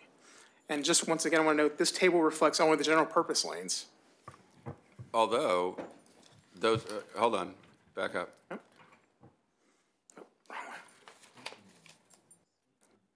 You say second worst, but it shows that it's improvement versus existing conditions. In other words, if you, if you use the diversion alternative, you would have a better travel time index than exists today in 2040. System-wide, you're correct. So uh, over the 48 miles. If you broke it down, and we can talk a little bit more about that later, if you broke it down to the pieces, it's not everywhere. It's only in the pieces where we have the managed lanes. So you're saying that, that number is the average? It's the average about the, over the 48 miles. All right.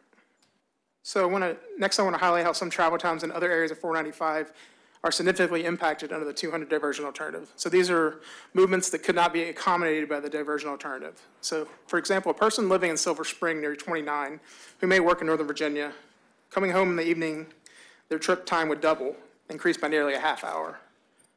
For someone who lives in Bethesda who may work over in the New Carrollton area in Prince George's County, they'd see their trip home in the evening increase by more than two and a half times under the diversion alternative. So this is going to cost people many hours of time each work week they could be spending with their families instead of stuck in traffic. Mr. Folden, is Yes. that an anecdote or is that based on actual feedback that you've received? What's that? What you just presented and the comments that you just made regarding the travel? That's based on our traffic modeling, the times that they would be stuck in traffic. Okay. I'm going to put the invitation out to you now. Anytime you want to travel with me on ICC, let me know because I use the ICC for the reasons that you've mentioned. And for me, the extra travel time is peace of mind versus sitting on 495 in traffic or if there's a breakdown. Um, So I- can appreciate the anecdote, but I I really wish we were using actual feedback from the community. And Ms. Choplin, I invite you as well. Anytime you want to ride with me on the ICC and I'm traveling to Baltimore or I'm traveling to Prince George's County, you're welcome to ride with me. Or if you want to come down 270 with me on a Thursday and experience, I leave at 7:15 in the morning for a 9 AM meeting. So the anecdote just doesn't connect to me. I, I, I might would support her comments that uh, I live in Rockville, and I go in the morning to come to this meeting over on Kenilworth Avenue, or I actually take the ICC. I drive over 270, and it's a red necklace. It's four, you know, or maybe six lanes of red showing, and I've got a six-minute longer trip if I was going down to the Beltway, six six-mile trip, which going that speed, which is people are speeding over there at 60, but they go 70. So you're making it up in time. And I think the, what the suggestion is, is to, and again, we've had this effort of a purple line that was, you know, rather than widening the Beltway, we're going to do the purple, purple line, transit line. But looking at that segment, five, matching five on the part in Montgomery County of the Beltway with the ICC, I think that would be effective. That should be one of the alternatives that looks at.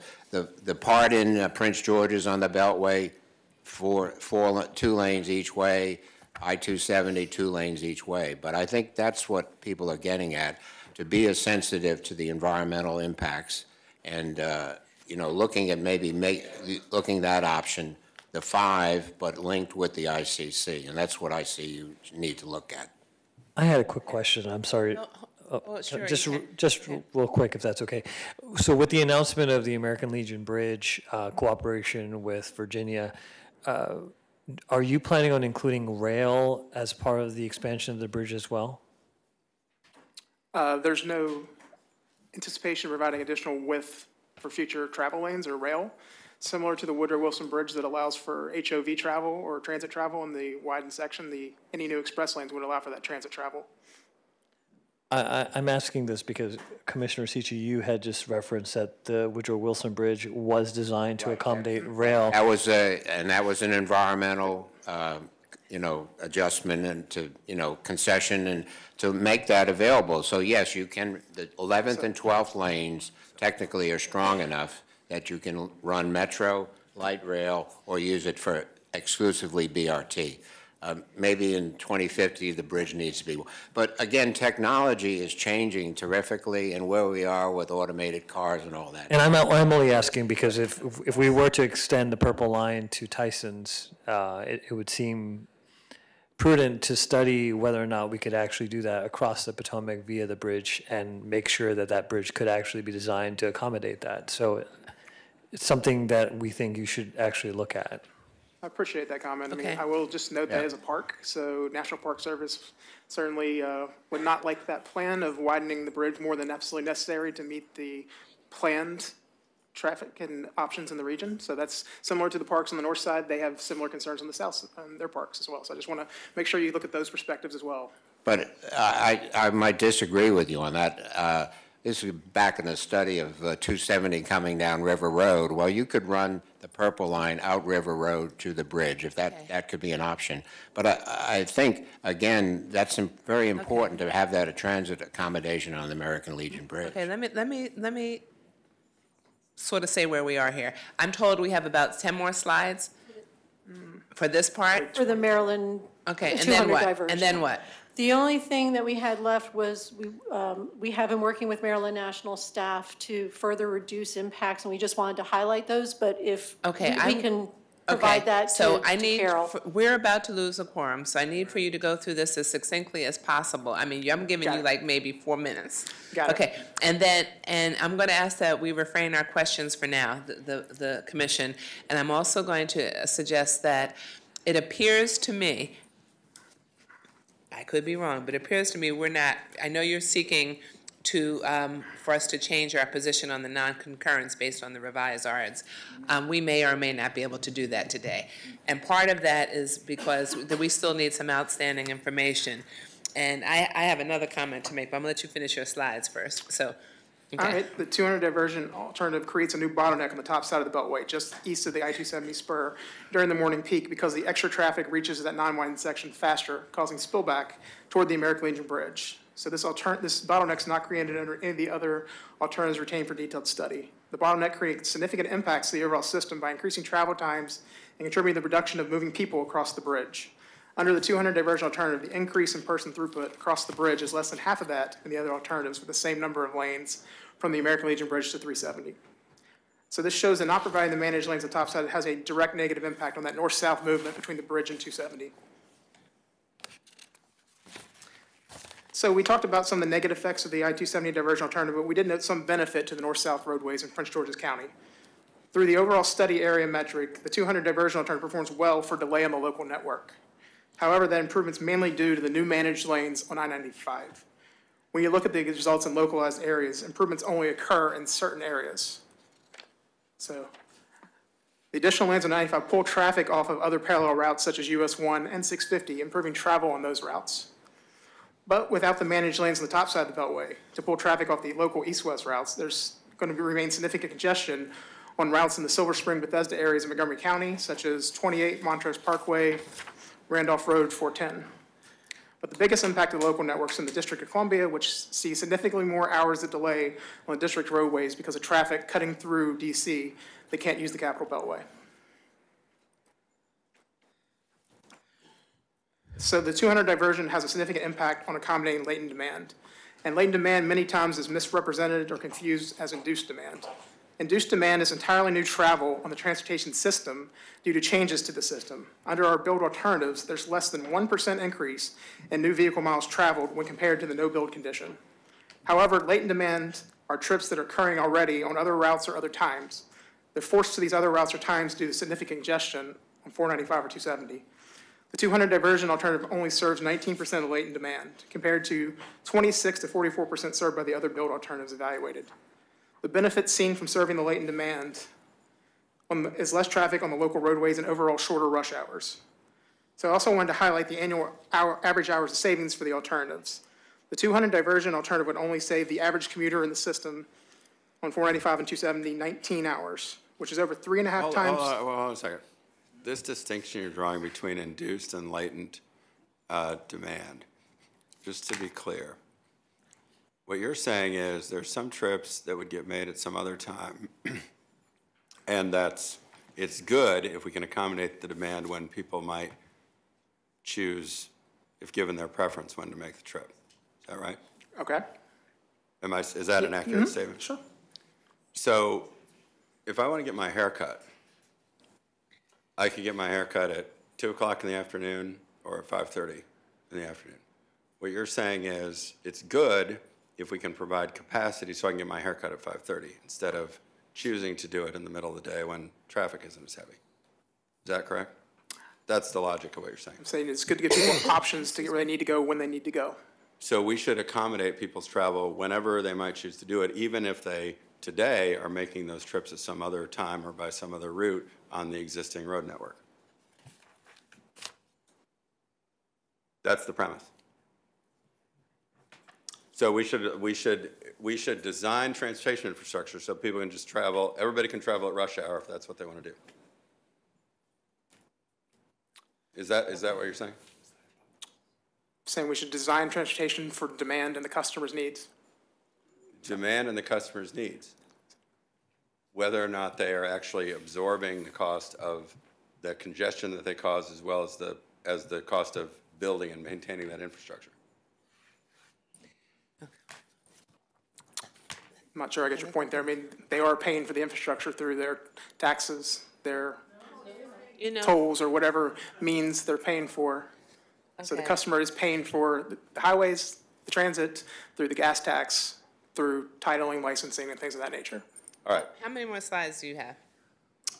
yeah, all right, we can move on. We can, Because Houston, we have a problem here, so. So There are two main reasons why the 200 diversion alternative will lead to significant congestion noted on the previous slides. It does not address some of the worst performing roadway segments in Maryland, and the ICC cannot accommodate traffic to provide relief.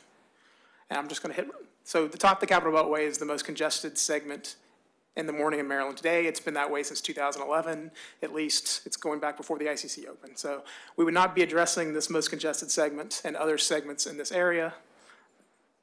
And the ICC's purpose was to handle traffic in 2030 at a free flow speed.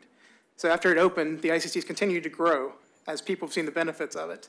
It's functioning as it was intended when it was originally designed, and it's projected to meet its 2030 projections that it was projected to when it opened. Certain sections of the ICC are expected to reach capacity in 2027, and those sections are westbound, the same direction where the Capital Beltway is significantly congested today. So the ICC doesn't have the ability to accommodate more traffic on the top side of the Capital Belt, from the, uh, excuse me, from the top side of the Capital Beltway in the future.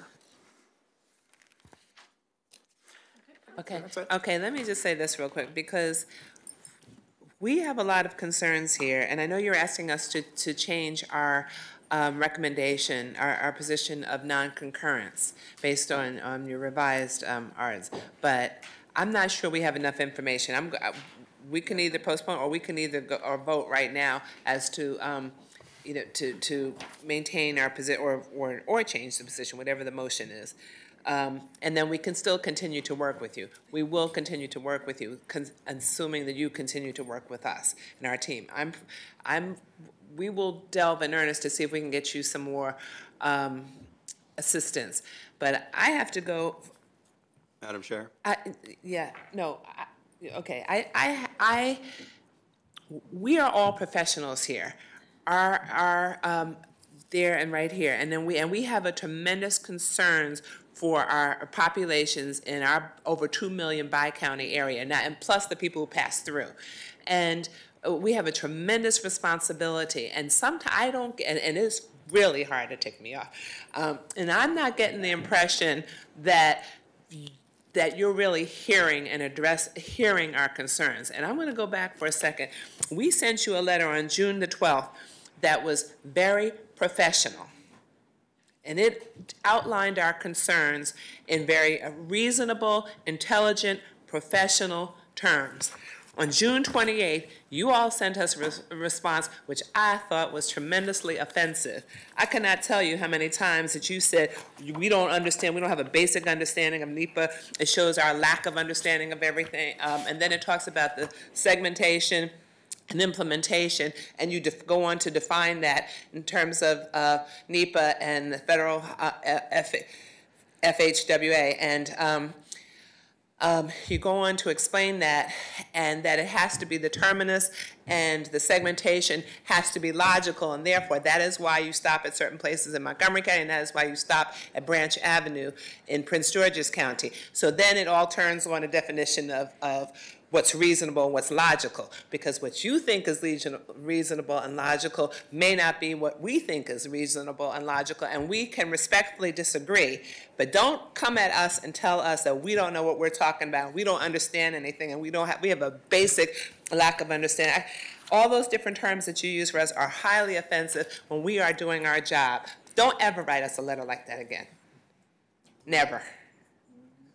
It was very demeaning when we're trying to do our job on behalf of our respective counties and all two plus million of the people who reside in them. Don't ever write us a letter like that again.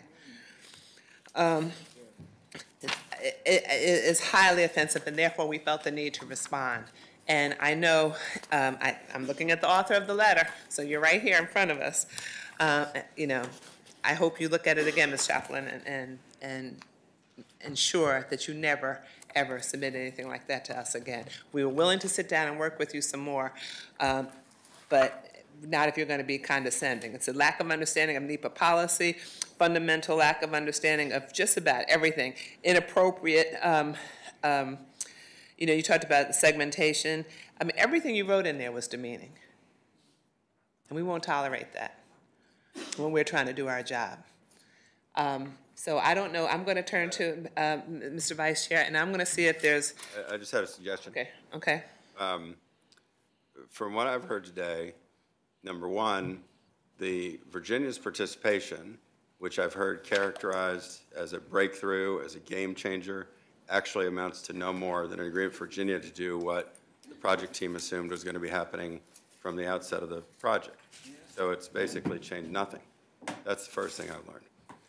Second thing I've learned is that alternatives have been rejected, not because they don't address congestion in any way. They maybe address congestion and some of the other project purposes and needs less than some of the more aggressive or ambitious alternatives, but I don't think for NEPA purposes that that's a basis for rejecting those alternatives, particularly the diversion alternative, which by some measures actually improves uh, overall congestion levels and travel time throughout the relevant part of the transportation network compared to what it is today, even assuming 2040 um, traffic growth. Third thing I think I've learned today is that uh, we are still without a factual basis to evaluate many of the assertions that the project team has made about why certain alternatives are viable or not viable or desirable or undesirable, whether or not they meet the purpose and need. So for all those reasons, particularly the second and third, I would suggest that we vote, uh, take a vote, and my recommendation would be that we affirm our original position, not concurring in the, uh, in the proposed. Is uh, that your parts. motion? That's my motion. Second. Okay, we got two seconds. Um, is there discussion? I'm glad you said that because one of the things, the, the lack of information, we need some information. And in your letter, that's another thing you mentioned over and over again. We have given this information to your staff multiple, multiple, multiple times. Well, we still don't have all the information, so you can't say that everything was provided to us multiple times, because it wasn't. Okay, so, um, and the other, yes? You asked if there was discussion. I do have one discussion Yes. item. Yes. I'll be very quick. Mr. Folden, if you do come back um, regarding the ICC diversion alternative, I would ask that you would consider, um, in, in terms of your economic analysis, how the ICC is one of the most expensive tollways in the DMV area. The Greenway is probably more expensive.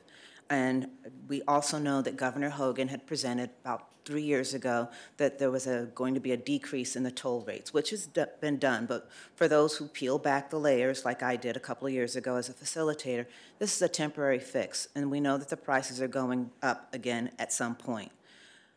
I would like to see in your diversion alternative why it was considered um, to not be a, a viable alternative. If we, one, increase the traffic speeds on ICC to 65, so for those who are traveling east, when they merge onto 95, they would actually merge on at the same speed that the people who are traveling on 95, which is also 65 miles per hour.